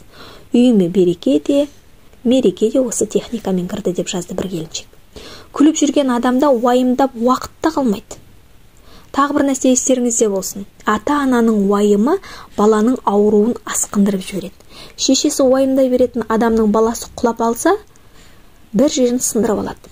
Уайымы жоқ ананың баласы құласа үстін қағып кете береді. Сондықтан уайымдаудың осындай қаупі барын ескеріп уайымның орнын жымиюмен толтырамыз ендеше күліп жүреміз бе? Садақаның пайдасы. Біресе биліктен біресе туыстан біресе банктен біресе тамыр таныстан көмек сұрай бергенше өзіңіз жұртқа көмектесе алатын деңгейге жетіңіз. Мен жасаған жақсылығымды алланың разылығы үшін жасаймын және жылтыңдатып жариялаған жек көрем. Садақаның қасиеті де сонда. Мақтаныш үшін жасалынбауы тиіс. Садақаның қасиеті туралы сағаттап сөйлеуге бармын. Үнемі сабақтарымда да жиі айтам. Айтқанымның нәтижесін көріп жатқан шәкірттерімнің мысалдары да жетерлік. Байығыңыз келе ме? Садақа беріңіз. Жасырын не ашық түрде көп садақа беріңдер. Ризықтарың көбейеді. Көмекке ашық болыңдар. Дұғаларың қабыл болады дейді. Ауруыңыздан құлан таза айыққыңыз келе ме? Садақа беріңіз. Аурулардың садақамен емдеңдер. Садақа барлық ауруды және бәлені қайтарады дейді. Тілегіңіз орындалмай жүр ме? Садақа беріңіз. Қарызыңыз көп па? Садақа беріңіз. Күнәңіз көп па? Садақа беріңіз. Неге дейсіз бе? Өйткені расында да түсінген адамға садақаның пайдасы орасан зор. Жақсы тіпті менің сөзіме сенбейсіз ендеше садақаның қасиеті туралы мен айтпаған хадистерден алынған пайғамбарлар саллаллаху алейхи уассалам риуат еткен сөздерін жинақтап жаздым. Жақсылық өміріңді ұзартады. Садақа күнәларды кетіреді және жаман өлімнен қорғайды. Табарани. Садақа берген адамның ризығы көбейеді және дұғасы қабыл болады. Ибн мәжә. Садақа беруге кедергі болған адамға лағынет болсын. Исфахани. Садақа қабір азабынан қорғайды. Қияметте қамқорлығына алады. Байхаки. Садақамен қиыншылықтардың алдын алыңдар дәйләми судың отты сөндіргеніндей садақа да күнәларды жояды термези. Уәллахи садақа берумен мал азаймайды. Олай болса садақа беріңдер ахмет садақа дүние мүлікті көбейтеді. Олай болса садақа беріңдер ибни дүние садақа жетпіс түрлі бәленің алдын алады. Бұлардың ең жеңілі алапес ауруы хатим. Садақа шайтанның белін сындырады дейләми. Жасырын берілген садақа алланың ашуын сөндіреді байхаки алла разылығы үшін садақа берген адамға қияметте аллах тағала ей құлым сен менің разылығымды көздедің. Мен сені масқара етпеймін және денеңді жаһаннамға харам етемін.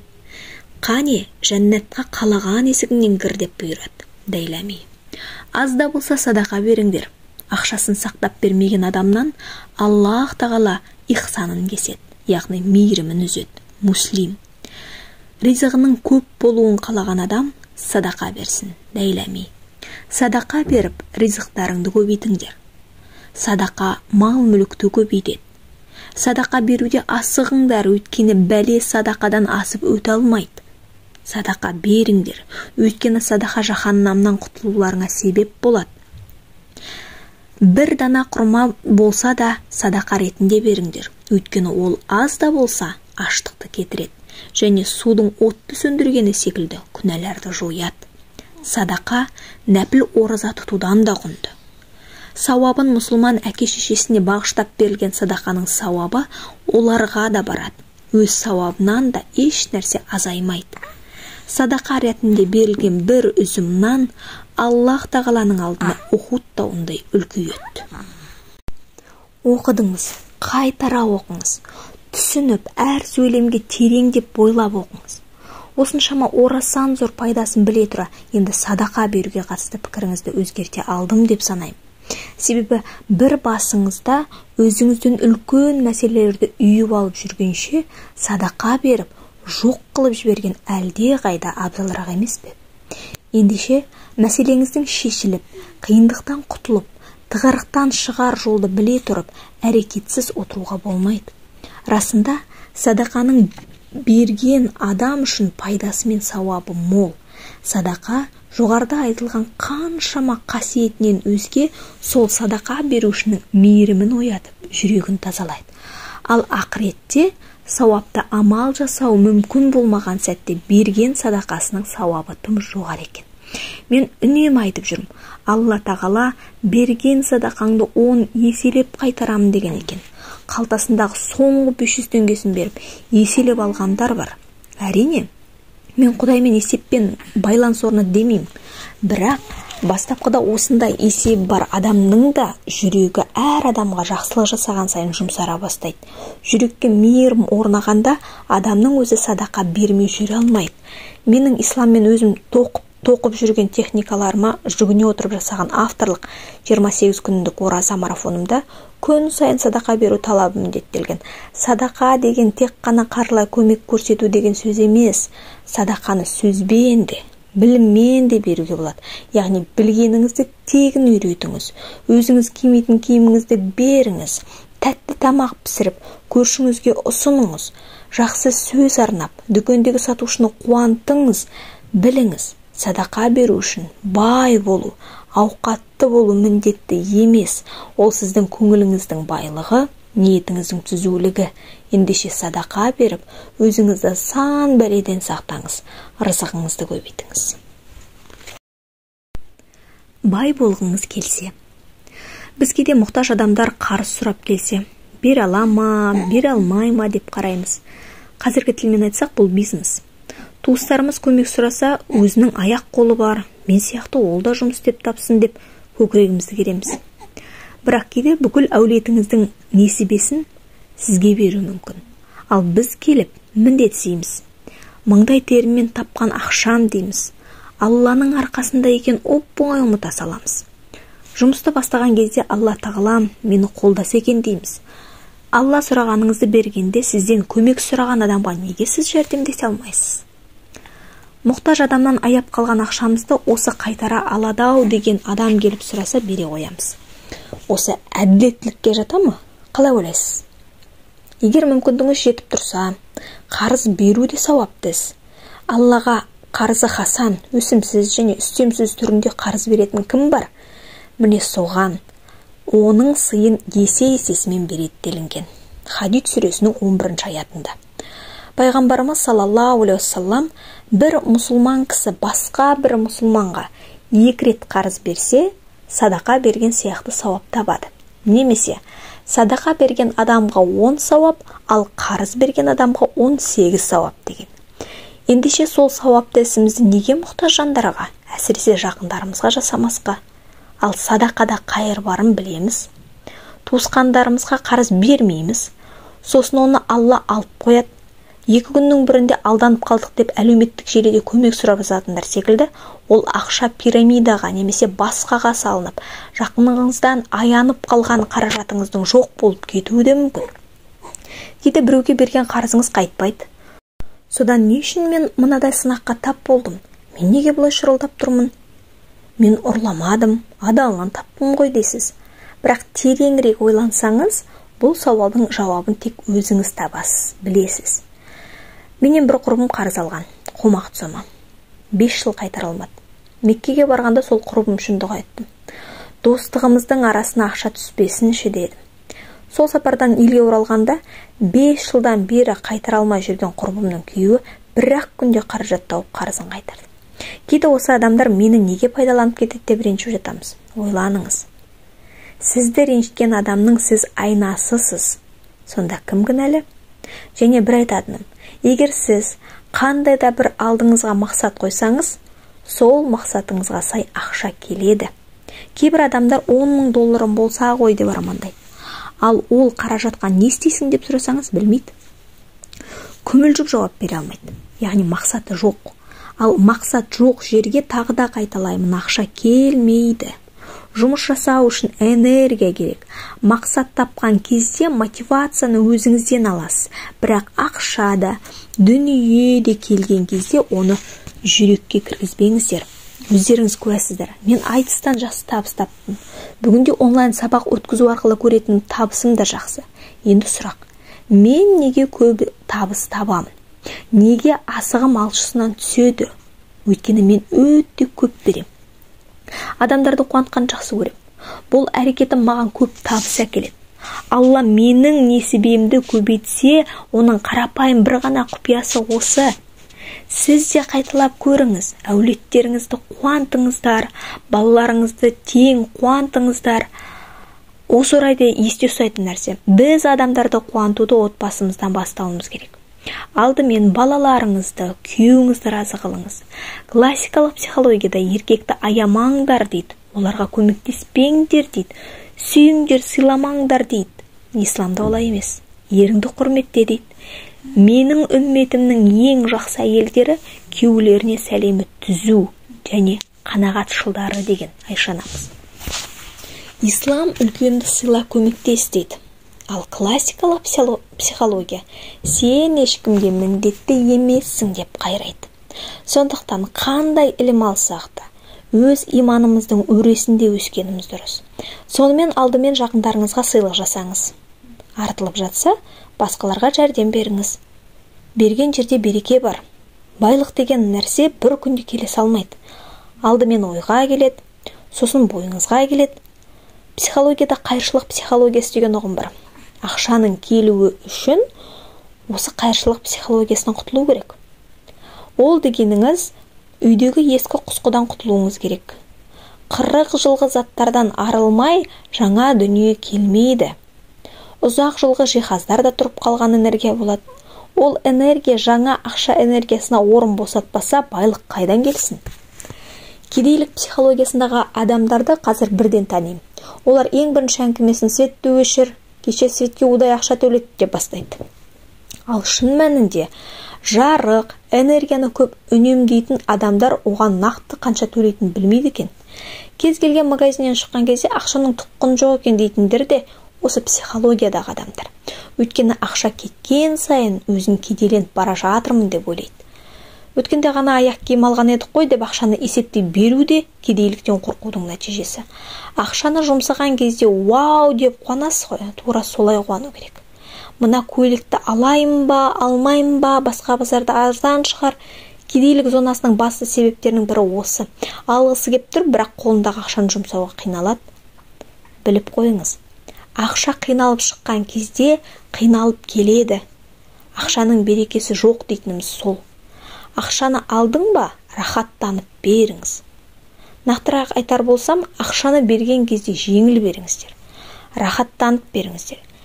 Әкім десек ой оңбаған жемқор бүкіл ауылдың ақысын ақшасын жеп қойған деп күстаналап шығатынымызды адамдарды байлығына қызметіне бола жек көру ғайбаттау қабылдамау дұрыс емес.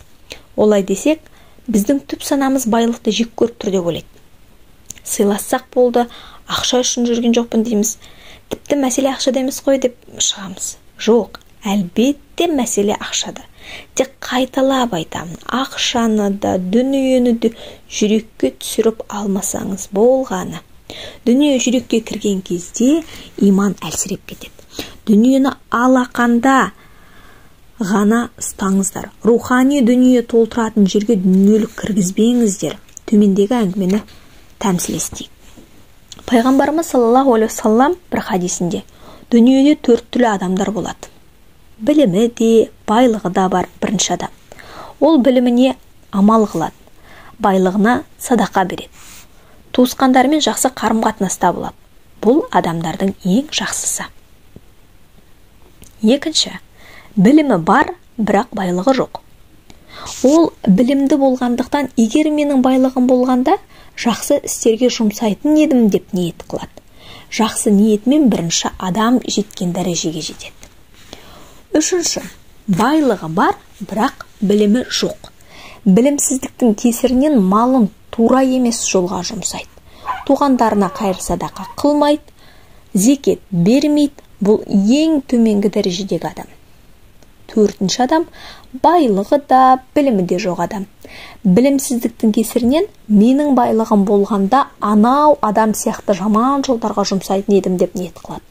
Бұл адам жаман ниетіменен төменгі дәрежедегі адамға ұқсап қалады. Осы адамдар тобының алғашқысынан болайық. Өмірде ең оңайы тағдырға өкпелеп өкіметке ренжіп диванда жата беру. Мақсат қояйын десе ақша жоқ таныс жоқ жұмыс жоқ мен өзім ақша табу үшін азаннан кешке дейін жұмыс істеу керек дегенмен келіспеймін. Азаннан кешке дейін қиналып құрылыста белі қайысып шахтада мал бағып далада жүргендердің барлығының миллионер болып кеткенін көрмедім.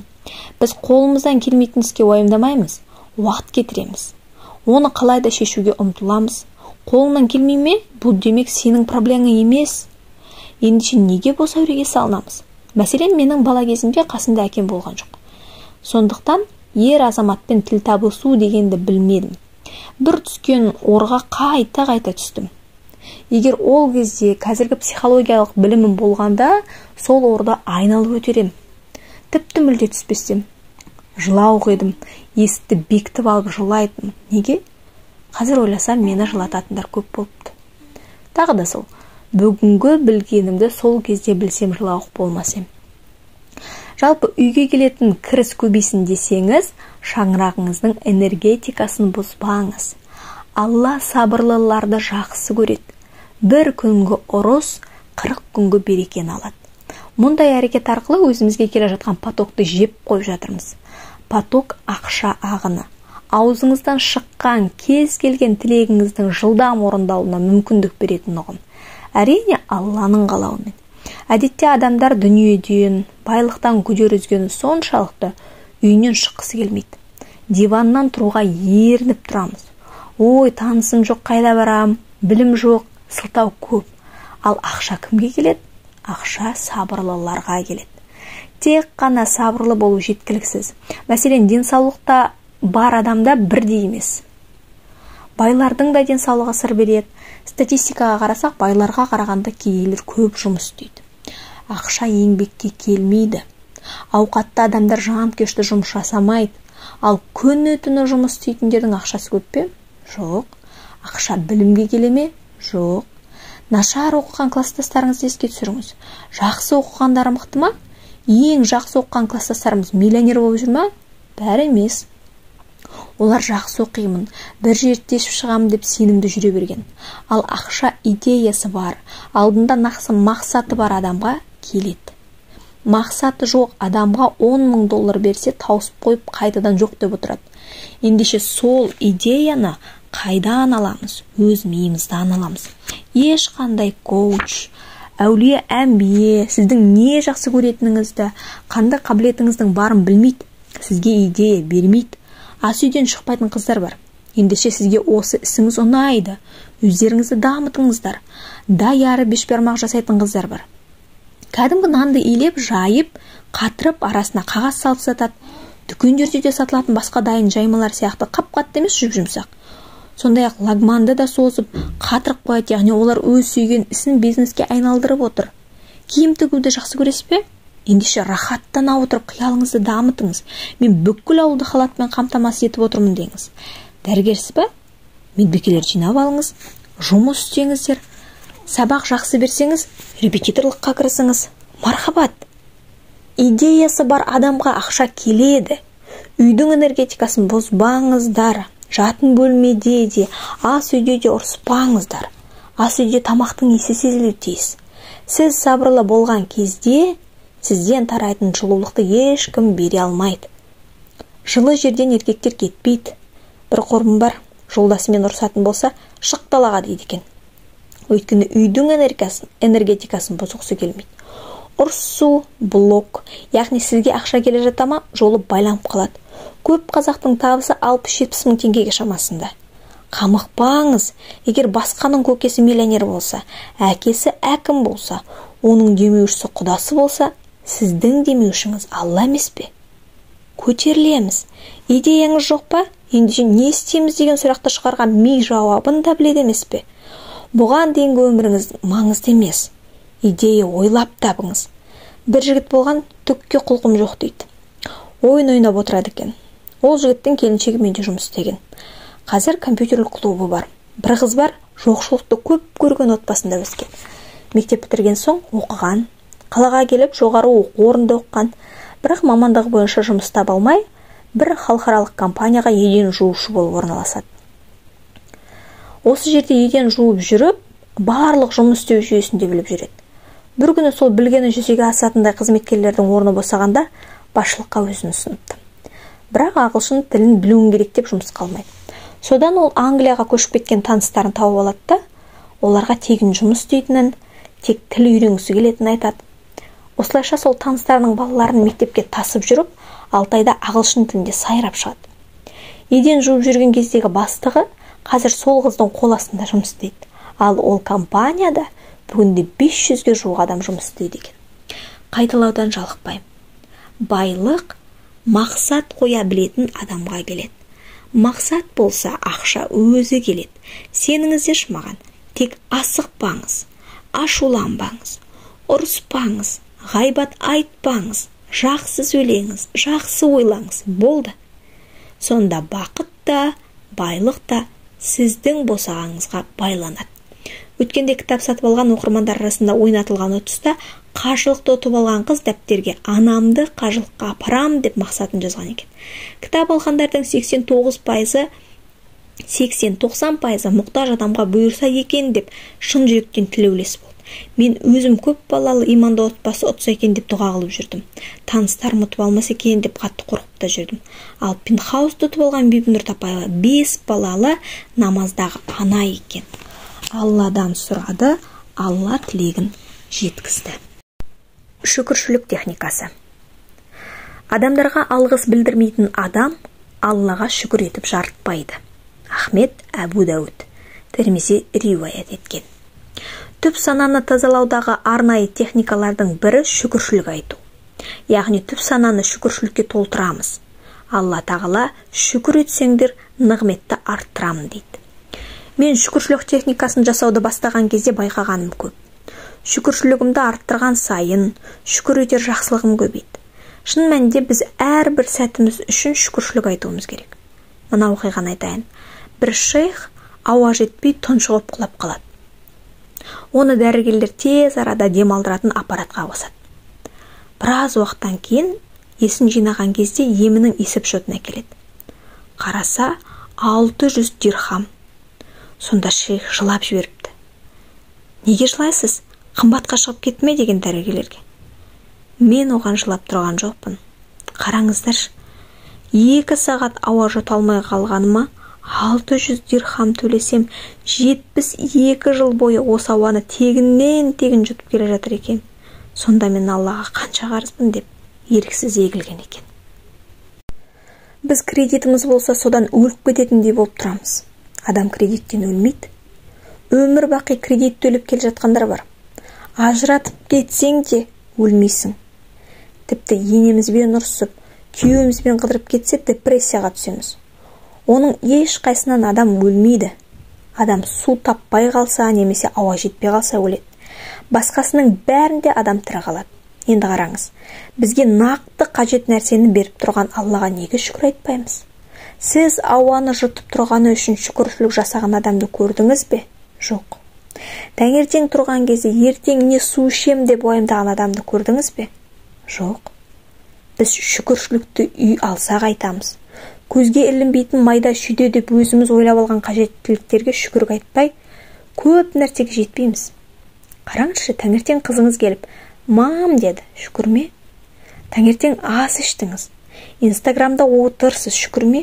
Яғни шүкір шүкір дей берсеңіз негативке орын қалмайды. Негатив бұрын саған қалыпты жағдай болса қазір негатив саған түрпідей тиетін болады. Сіз негативтен қаша бастайсыз? Жұмысыңыз ұнамай жүр ме? Айналаңыз сізді түртпектей бере ме ендеше жаныңыздан сұраңыз. Қалайын ба осы жұмыста деп. Егер негатив жаныңызға жақпай бастаса бұл өзгерістің бастауы. Үйіңде тыныштық орнаса өзгерістің бастауы. Сен бұрын жек көрген адамды жақсы көре бастаса өзгерістің бастауы. Мұның нәтижесі түп сана тазалана бастады деген сөз. Түп сана тазалана бастағанды қалай байқайсыз? Түп сана тазаланғанда алламен байланысқа түсесіз. Күн сайын жақындай түсесіз.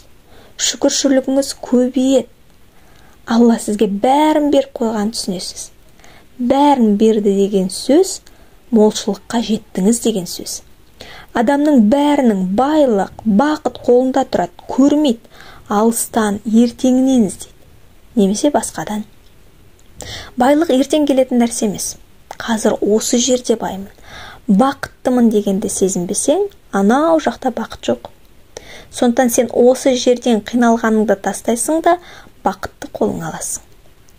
Мен 2016 жылы 25 мақсат жазғам. Біреу де орындалған жоқ. Сөйтсем ми дайын болмаса орындалмайды екен. Сондықтан да түп сананың тазалығының маңыздылығы осында. 2018 жылы түп сана сабағын бастағанда қарыздан қалай құтыламыз деген сабақ өткіздім. Сол сабаққа қатысқан бір қыз 2019 жылы банктегі несиемді түгел жауып тастадым деп жазған еді бүгін президент қасым жомарт тоқаевтың бұйрығымен несием кешірілді деп хат жазыпты. Біздің қолымыздан не келмейді? Біз тек дұрыс тапсырыс бере алмаймыз. Ақша жоқ емес. Ақша келіп жатыр жүз мың теңге. Балаңыз үйленгенде екі миллион теңгеге той жасайсыз. Машина екі миллион теңге тұрады. Көп ақша ұстаған кездеріңіз болды ғой? Қандай да бір жолмен сәті түсіп әйтеуір ақша келіп жатты ғой. Мен түп сана сабағын бастағанда осы сабақтардан алатын ақшам халалынан болсыншы дедім. Осы орайда мен сіздерге кванттық физика туралы айтайын. Менің мәскеу психоанализ институтында оқып жатқанымнан хабардар боларсыздар. Сондағы сабақтарыма қарасам қазір мен айтып жүрген онлайн дәрістердің тақырыбы институт деңгейімен салыстырсам бірінші мен бесінші классқа баратын білімдерді айтып жатырмыз. Терең терминдер қоспаймын. Трансгерфингті талдап айта аламын. Бірақ оны айтпаймын өйткені бәрі түсіне алмайтындар бар. Ақтөбеде оқушым бар. Сабаққа үлкен қарызбен келген. Қазір өзінің ательесі бар. Хан қызы брендінің аймақтарда дүкендер ашылып жатыр. Оның сол жақтағы жетекшілері сіздің сабағыңызды тыңдадық дедік. Ендеше армандарыңызды ауылдан шығарыңыздар. Қорықпай армандаңыздар. Бәлкім менің жеткен жетістігім басқа адамға жетістік болмауы мүмкін. Сонда да айтайын. Мен психология арқылы нені түсіндім? Менің бүкіл өмірім халықтың көз алдында келе жатқан адаммын ғой.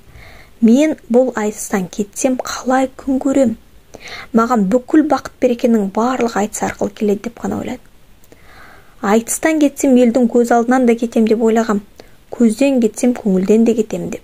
Ал психология арқылы танымалдылығым артпаса кем болмады. Яғни бақ пен берекені беретін айтыс еместігін алла екендігін түсіндім ғой. Нәтижесінде алла тағала адамға берген несібенің қайда барса да бұйыратындығын мен қазір дәлелдеп жатырмын деп ойлаймын. Одан кейін психология арқылы кезінде таудай көрінген проблемаларым қазір түймедей екенін түсіндім. Маған кезінде таудай биік шыға алмайтын биіктерім менің миымда ғана биік екенін түсіндім. Менің мінезімдегі өзгерісті оқырмандарым да байқап жатқан болар. Бұрын мәселен мен ақын шындықты айту керек деген позициямен келдім. Ешкімнің көңіліне қарамау керек деп ойладым. Ол солай да ал адам көңілін қалдыру мешітті қиратқанмен тең болар. Меніңше адамның көңілін қалдыру деген сөз ол жаңағыдай тас қорғанды бұзудан да қиын екен. Ал көңілді қалдыру деген қазір бізге шыбын шаққанда әсер етпейді. Қанша адамның көңілін қалдырдық. Бірақ жүре береміз. Жолымызды байлап жатқан сонда өзіміз ешкіммен алысып ешкіммен жарысып та керек емес. Ешкімді жек көріп ешкімге өкпелеудің де қажеті керек емес. Маған тиісе береді десеңіз сіз өзіңіздің жан дүниеңізде тыныштық болмаған соң сізге тиісе береді. Ішкі жан дүниеңізде өзіңізге көңіл толмаушылық самооценка өзіңізді бағалауыңыз төмен болған кезде сізді кемсітетіндер де көп болады. Ал айтыңызшы сіз өзіңізді өзіңіз бағаламай отырғанда неге біреуге ренжисіз кемсітеді деп? Сіз маған ен, маған енем неге көйлек сыя келмейді деп ренжисіз? Бірақ негізінде сіз өзіңізге қимай жатасыз сол нәрсені. Олар сіздің тапсырысыңызды орындап жатыр. Балам айтқанымды тыңдамайды дейсіз. Өйткені сіз өзіңізді тыңдап білмейсіз. Тыңдап біле алатын адамдарды қалай білеміз? Тыңдап білетін адамдар жай сөйлейді. Жай сөйлеп тыңдатқыза алады. Өйткені олар тыңдауды біледі және тыңдата алады. Ал өзін тыңдата алмайтын адамдар айғайлап сөйлейді. Сондықтан оны ешкім естімейді. Өйткені айқай ұрыс өкпе реніш адамның жолын байлайды. Ал енді қызғаныш адам жолындағы сәттілікті жояды реніш денсаулықты жояды өкініш болашаққа деген қадамды жояды. Тағы да айтайын адамға мейірім мен махаббат сыйлау арқылы ешқандай ұрыс керіс талассыз ақ өте биікке көтерілуге болатын ойым мен түсіндім. Жалпы психология саласындағы қыздардың әрқайсысының еңбегі бар. Ешқандай психолог ажырасуға ұрысуға адамдарды жек көруге бетпақтыққа тәрбиелемейді.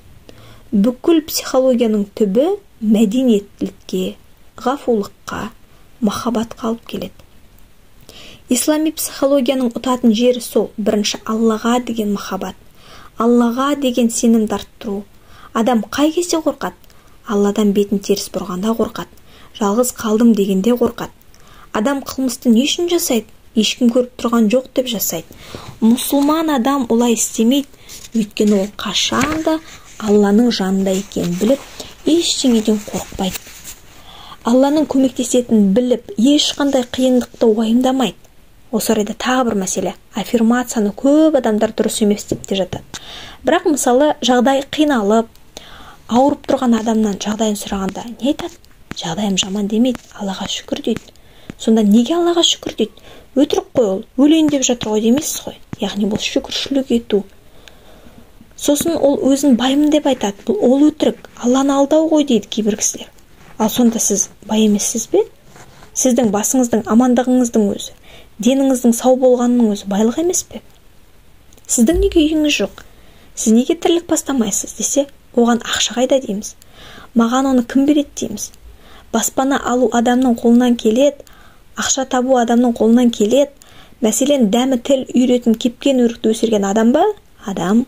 Бәрі адамның қолынан келеді. Адам жасай алмайтын дүниелер бар яғни адам теңізді жасай алмайды жұлдыздарды жымыңдата алмайды қарды жауғызып отыра алмайды. Ендеше сол ұлы нығметтерді беретін кім? Бір алла. Он сегіз мың ғаламға ауаны жеткізіп жаңбырды жауғызып жұлдыздарды жымыңдатып қойды. Біздің әр жеген тағамымыз ішкен суымыз байлық па? Байлық.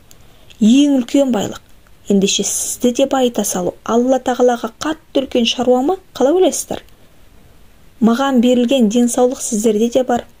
Маған берілген 24 сағат сіздерде де берілді. Бірдейміз неге маған алла тағала береді сізге бермейді? Бір құрбым бар. Неге сіңлісіне бәрін береді екіншісіне бермейді? Сұрасам мен үнемі сыйлық жасап жүрем. Сіңілім ерекше қуанады. Ал мен оны қуанта бергім келеді дейді. Яғни шүкіршілігі жақсы деген сөз. Бізге берген байлыққа нығметке алла тағалам рахмет демейінше бұдан үлкен байлықтарға жете алмаймыз. Біз шын қуанған кезде алла тағала мә саған деп бере береді. Сондықтан мен шүкір шүкір деп отырамын жақында мен қолымның бір саусағының шетін жарақаттап алдым. Сол кішкене байланған жарақат маған мүгедектік күй кештім. бір саусағымды кесу арқылы мен он саусағымның қадірін білдім. Мынадай байлықты маған беріп қойғанына шүкірлік еттім.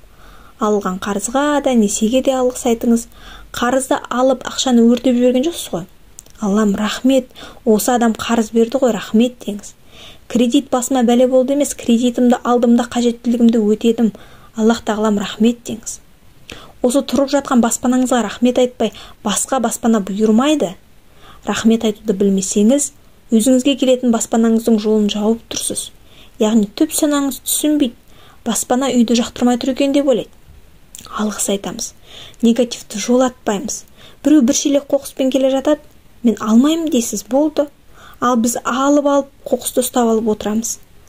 Алла тағала күн сайынға әр әулеттің несібесін беріп қойған.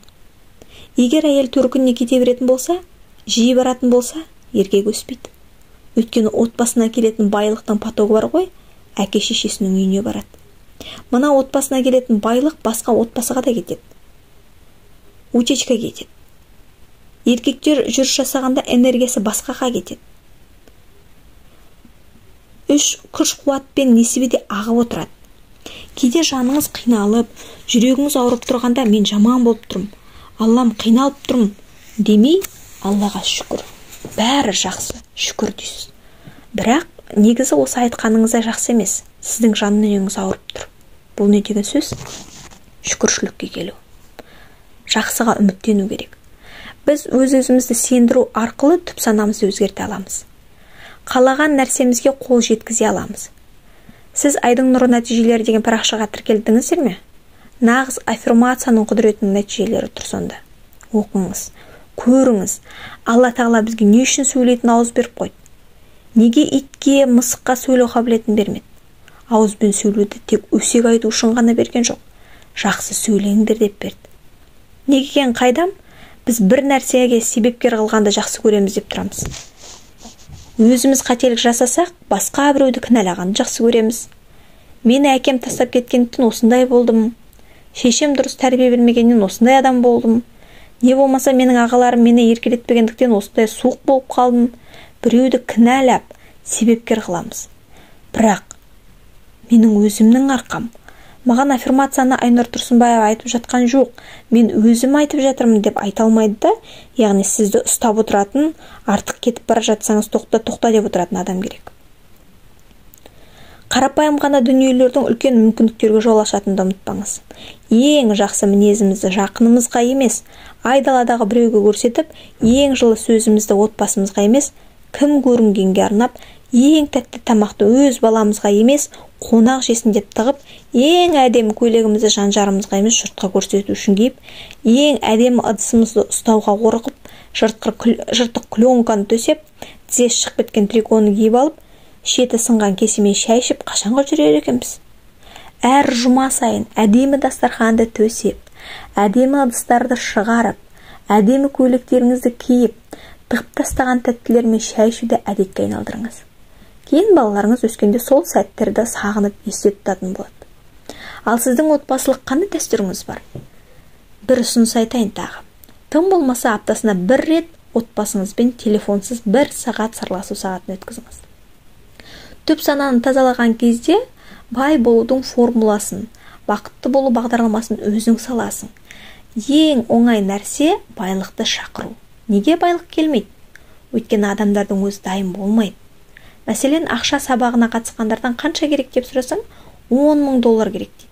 Бірақ оны қайда жұмсау керектігін білмейді. Нақтылық жоқ жерге ақша келмейді. Кез келген программаны енгізуге болады. Шүкір етсең арттырам деді ғой. Алла бізге суға деген қажет нәрсені беріп қойған. Өзен көлдің бәрі ағып тұр. Таңның атысы күннің батысы. Біз үшін жағдай жасалып тұр. Осындай нәрселерге шүкір айтпай біз оны ұсақ түйектеп тұрмыз. Ұлы нәрселерді менсінбей тұрмыз. Түп сананы тазалап артық салмақтан арыл. Түп санасы тазаланған адам кез келген тілегін орындай алады. Өйткені бастапқыда айтқандай әппақ қағазға тілек жазу қиындық тудырмайды. Ал артық салмаққа келетін болсақ алдымен бұл салмақтың сізді қашаннан бастап пайда болғанын есіңізге түсіруіңіз керек. Ары қарай не себепті тола бастадыңыз анықтайсыз.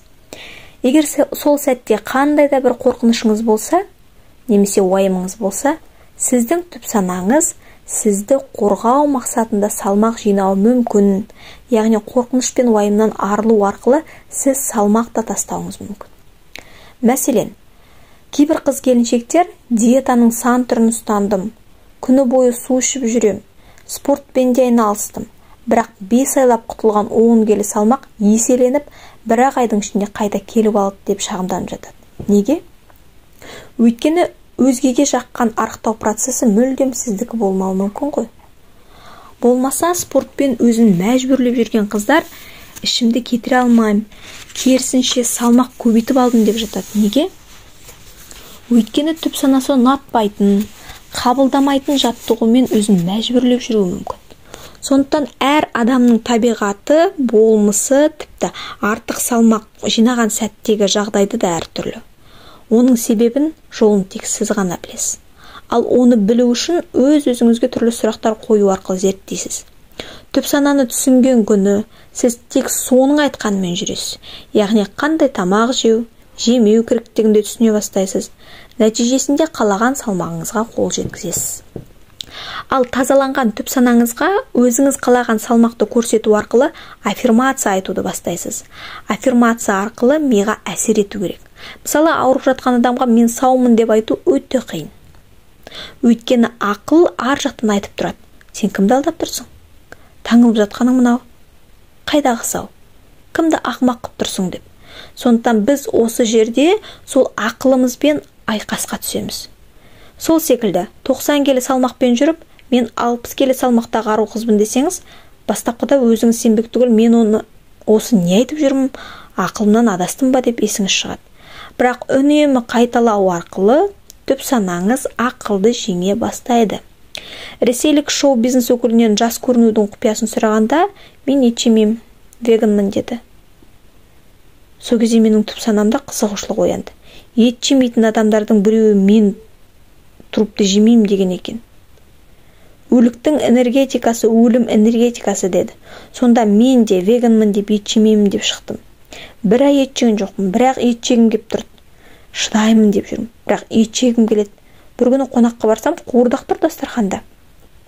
Қуырдақты қатты жақсы көремін. Содан уәдемді ұмытып әлгі қуырдақты асай бастадым.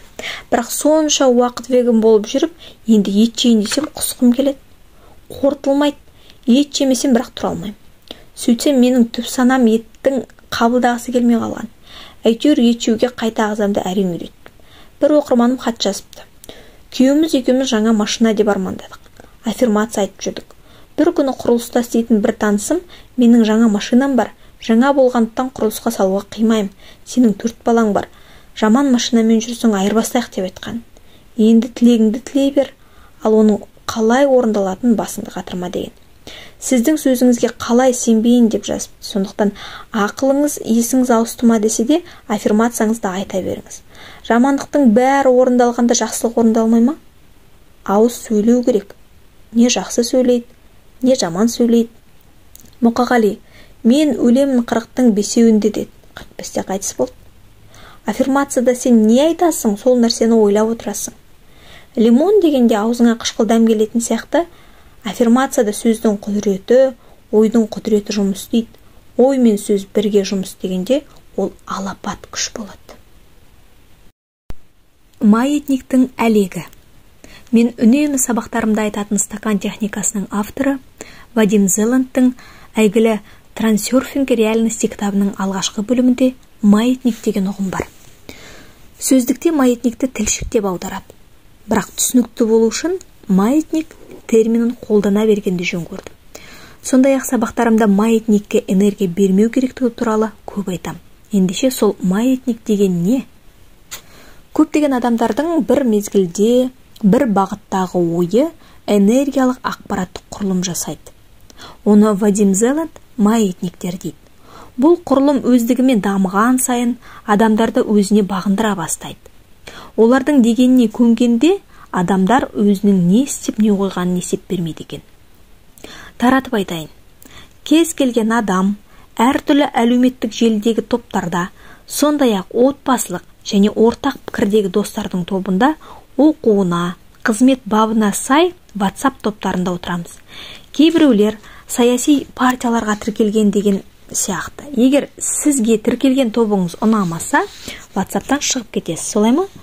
Ал егер ортақ мүдде немесе айтар әңгімеміз ортақ десеңіз сол топта отырасыз.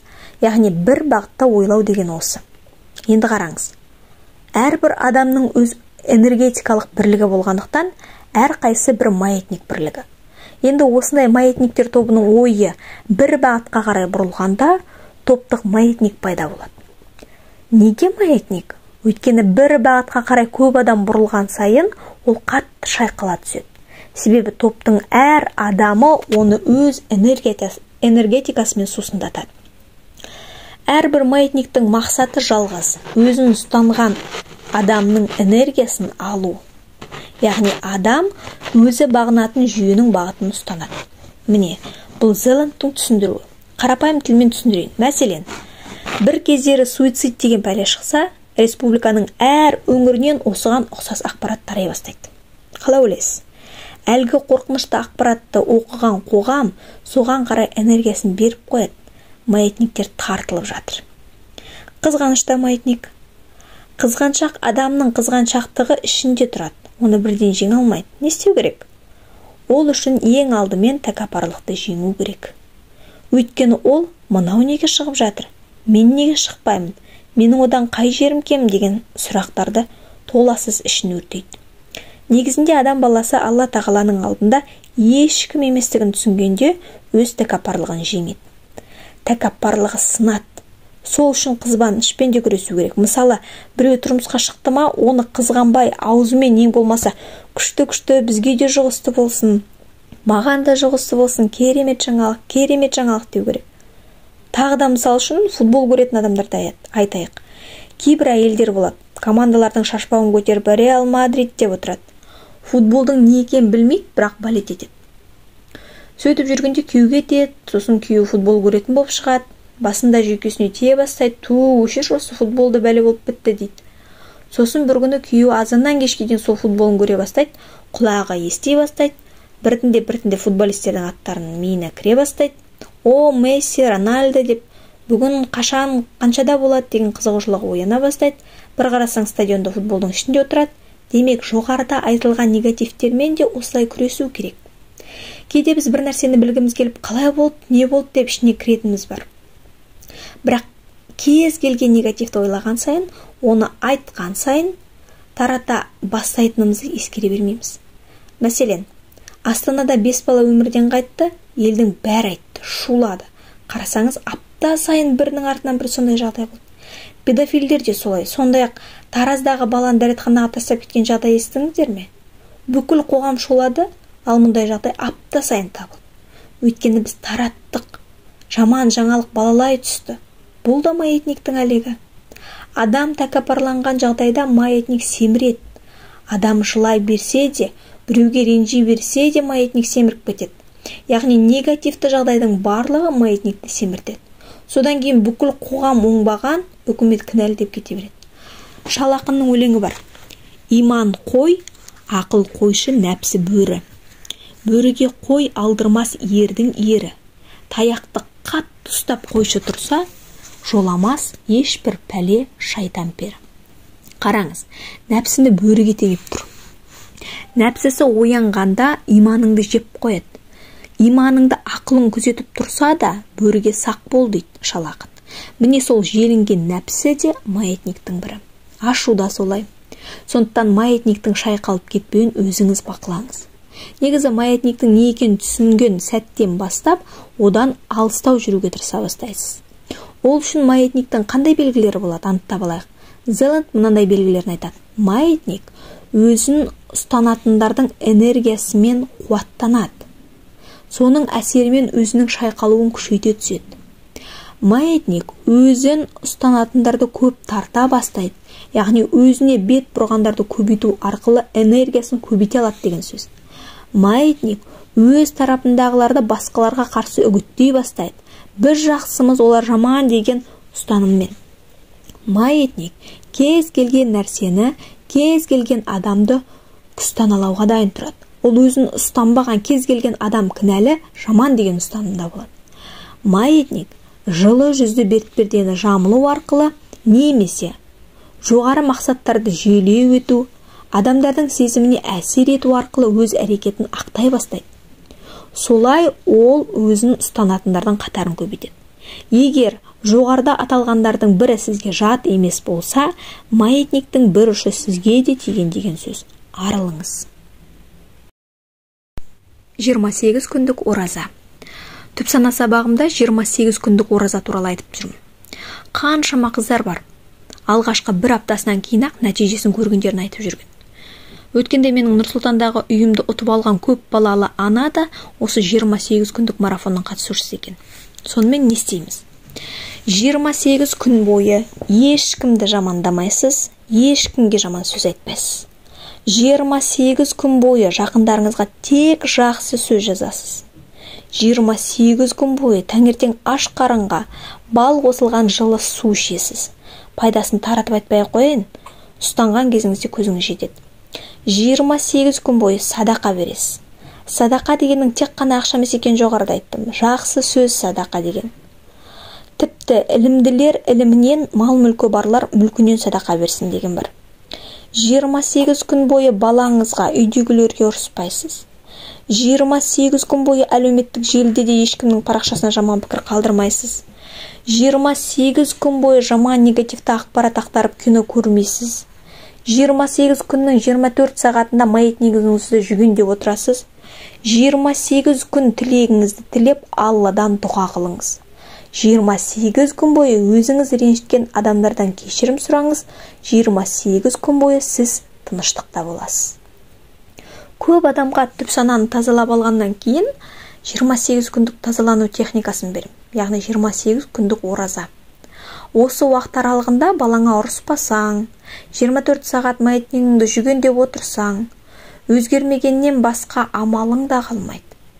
28 күн тыныштық ұстасаң одан ары қандай өзгеріс керек? Қазақ айтады бір күнгі ұрыс қырық күнгі берекені алады деп. 28 күн бойы үзбей ұстансаңыз ақша сізге өзі келеді. Көркем мінез пайда болады. Өзгеріс осы тыныштыққа келеді. Ал түп сананың тазарғанын қайдан білеміз? Машина алам деген машина алмадым. Дүниелік нәрсені ойлаймыз. Кредиттен құтыламын деген құтылмадым. Яғни өзгерісті дүние байлықпен екшейміз. Өзгеріс одан басталмайды. Түп сананы тазалап алдым деп өзгерісті күттім деп отырып алу емес. Жазуды бастадыңыз ба? Ол да өзгеріс. Елдің бәрін кешіріп тастадыңыз да?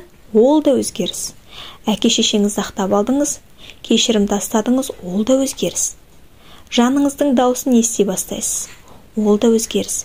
Енді тек үлкен өзгерістердің орын алуы ғана қалды 28 күндік тыныштық сізді позитивті толқынға, толқынға ауыстырады.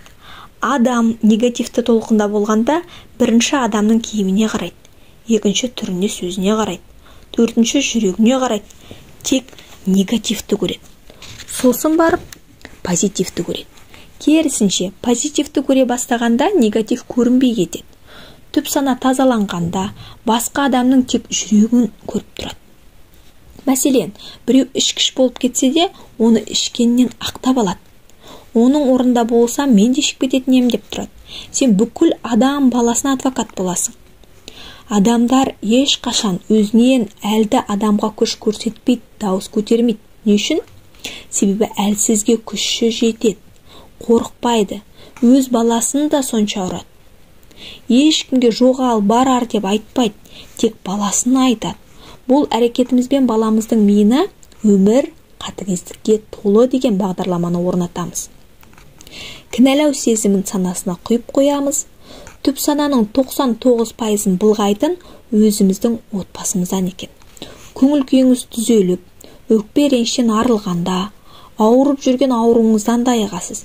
Мәселен әйелдер бүкіл көңіл күйін яғни өкпе ренішін жатырына жинайды екен.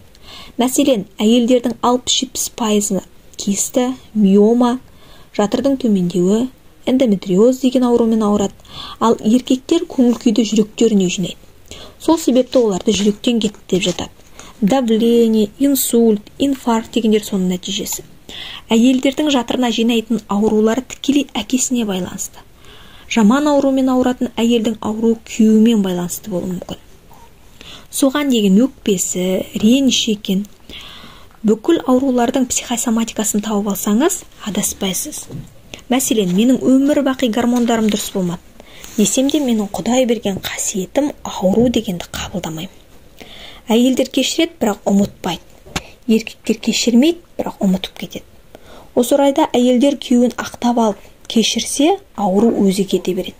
Яғни аурудың тамырын жұлу керек. Өміріндегі ер азаматтарды ақтап алғанда жатырында емдеп алады. Тағы бір техника құрсақпен демалу. Медитациямен ем. Біз кеудемен демаламыз. Сол себепті өксікті кеудеде ұстаймыз. Құрсаққа таза ауа жіберу арқылы емдеу техникасымен мен өз өзімді емдеп алдым. Жатырында миомасы бар қыз келді алдыма.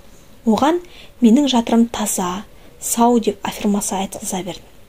Яғни өз мақсаттарымызға тапсырыс беріп жатқанда орындалады. Кез келген нәрсені біз маңызды деп ойлағанда ол бізден қашады.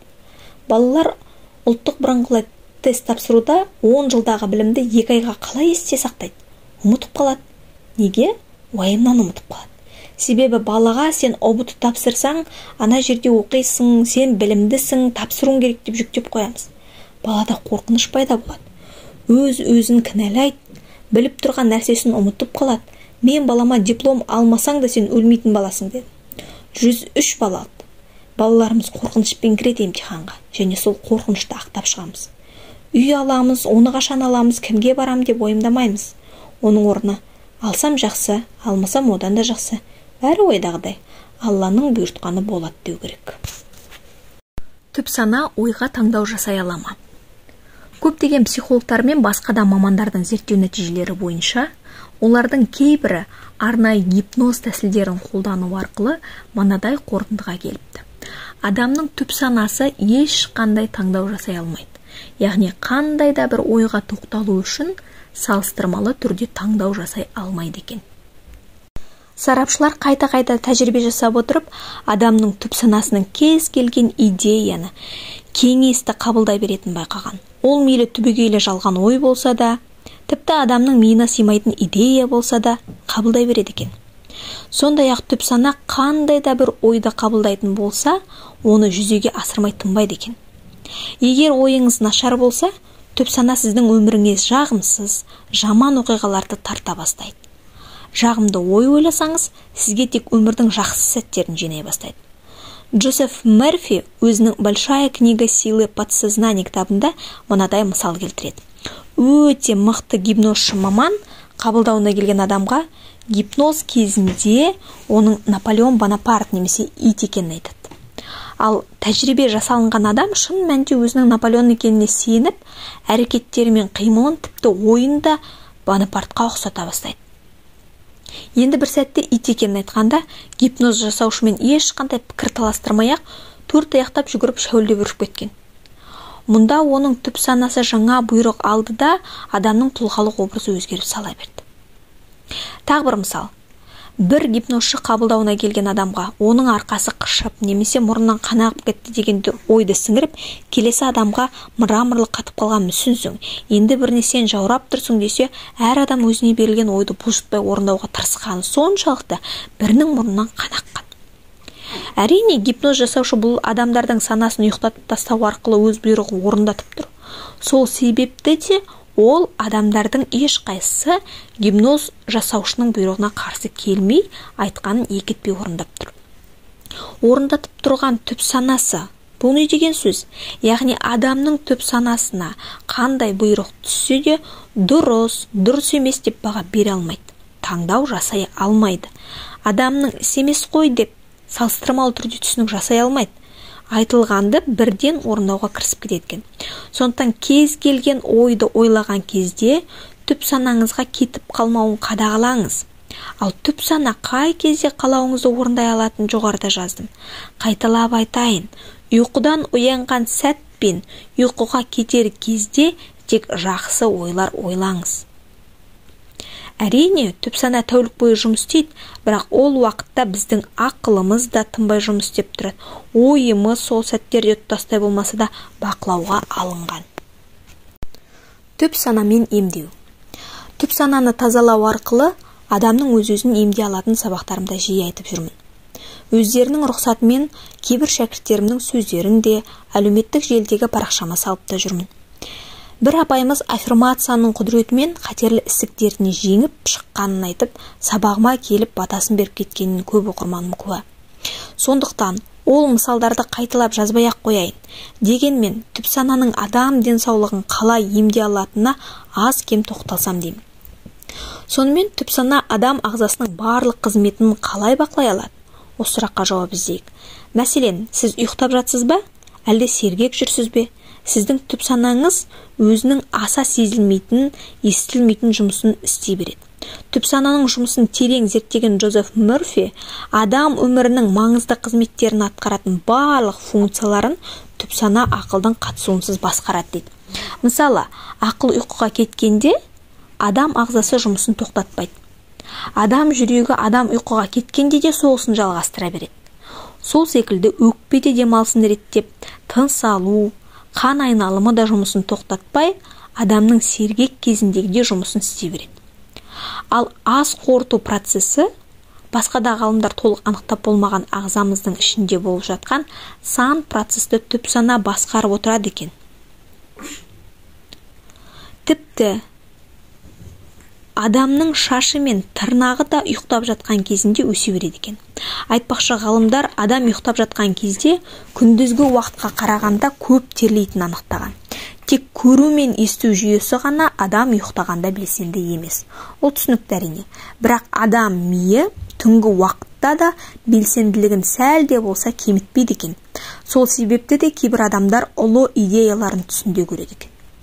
Мәселен менделеев өзінің әйгілі элементтер кестесін алдымен түсінде көрген. Демек түп сана адамның әр ағзасын өз ритмімен жұмыс істеуіне түк те кедергі жасамай басқарып отырады. Бірақ біз ол ритмді ақылымыз оянған соң құртып алады екенбіз. Құртатындар қорқынышымыз ашу ыза депрессия өкпе реніш. Мамандар осындай ойлар миға келгенде түп санамен міндетті түрде сөйлесіп жаман ойды аластатуға кеңес береді. Медитация арқылы ағзаңызды босаныстып барып сөйлесуге болады дейді. Сонда түп сана бар күшімен сіздің өміріңізді қорғап адам ағзасын қандай да бір аурудан жазуға тырысады екен. Тек оған бұйрық дұрыс берілсе болғаны. Түп сананың адам ағзасын қалай қорғайтынына қатысты бір мысал. Мәселен сіз ұзақ тұрып қалған қандай да бір өнімді жедіңіз делік сол сәтте сіздің түп санаңыз әлгі өнімді сыртқа шығаруға тырысады. Тіпті улы зат қабылдап қойсаңыз да ағзаңыз әлгі өнімнің уын қайтаруға күш жұмсайтын көрінеді. Егер сіз түп санаңыздың күшін сезінсеңіз сенсеңіз ол сіздің ағзаңызды толық қалпына келтіре алады екен. Бақытты болу әдеті. Сіз түп сананың күшін түсінген күні түп санаңызды өзіңіз тыңдай алатын және талабыңыз бен тілегіңізді тыңдата алатын күні кез келген кедергіні түп санаңызға айтып шеше алатын күннен бастап сіздің өміріңізге ұзақ мерзімді бақытты күндеріңіз басталады деп есептей беріңіз. Өйткені түп сананың тілін түсіну расында да қолыңызда сиқырлы таяқшасы бар адамның мүмкіндігі бар деген сөз. Сіз сол күннен бастап бақыт деген өтпелі сәттер ғана деп ойламайтын боласыз. Ал бақытты боламын деп оны ертеңгі немесе арғы күнгі ауыстырып қойып күте беру дұрыс па? Бұл кітаптан сіз түп сананы бағындыру арқылы адамның миына келмейтін дүниелерді жасауға болатынын түсіндіңіз. Ендеше неге ертеңгі күнді күтіп отырсыз? Бақытты болуды бүгіннен бастаңыз. Джозеф мерфидің бір фермер туралы жақсы әңгімесі бар. Ирландияның батысындағы бір шаруа қожалығына барған ол сондағы фермердің үнемі көңілді ән салып позитивті көңілде жүретінін байқап өмірді ерекше сүюінің құпиясын сұрапты. Сонда әлгі фермер күн сайын осылай көңілді сәттен оянып өзінде барға алғысын айтып түнгі ұйқы алдында да рахметін айтып бақытты екенін есіне алып жүретінін айтқан. Кейін бұл әдеті яғни бақытты болу сәті бақытты болу әдетіне айналған көрінеді. Біз ылғи айтатын аффирмацияның күн сайын айтылуы секілді дүние ғой. Ендеше әдемі әдетті бақытты болу әдетін сіз де қалыптастырып алыңыз. Сенбей жүргенше жасап көрген жақсы емес пе? Кейбір адамдар болады үнемі көңілсіз жүреді. Олар тіпті бақытты болудан қорқады бақытты сәтін жария жасаудан қорқады көз тиеді деп басқалардың айтуына да рұқсат бермейді. Бұл дегеніңіз психологияның тілімен айтқанда ол кісілерге өздерінің бақытсыз сәттері ұнайды деген сөз. Бақытты сәті келсе ол жағдай оған ыңғайсыз туғызып қайтадан көңілсіз сәтіне оралуға асығады. Егер сіз менің кітабымды оқып отырсаңыз өзгеруге өзіңізді дамытуға ниет еткеніңіз деген сөз. Сіз ол адамдардан емессіз. Біз бақытты болу әдетін қалыптастырғандар тобынан болайық. Бұл менің сабақтарымда үнемі айтатын сөзім. Бізде бәрі бар. Бізде байлық та бақыт та бәрі де бар.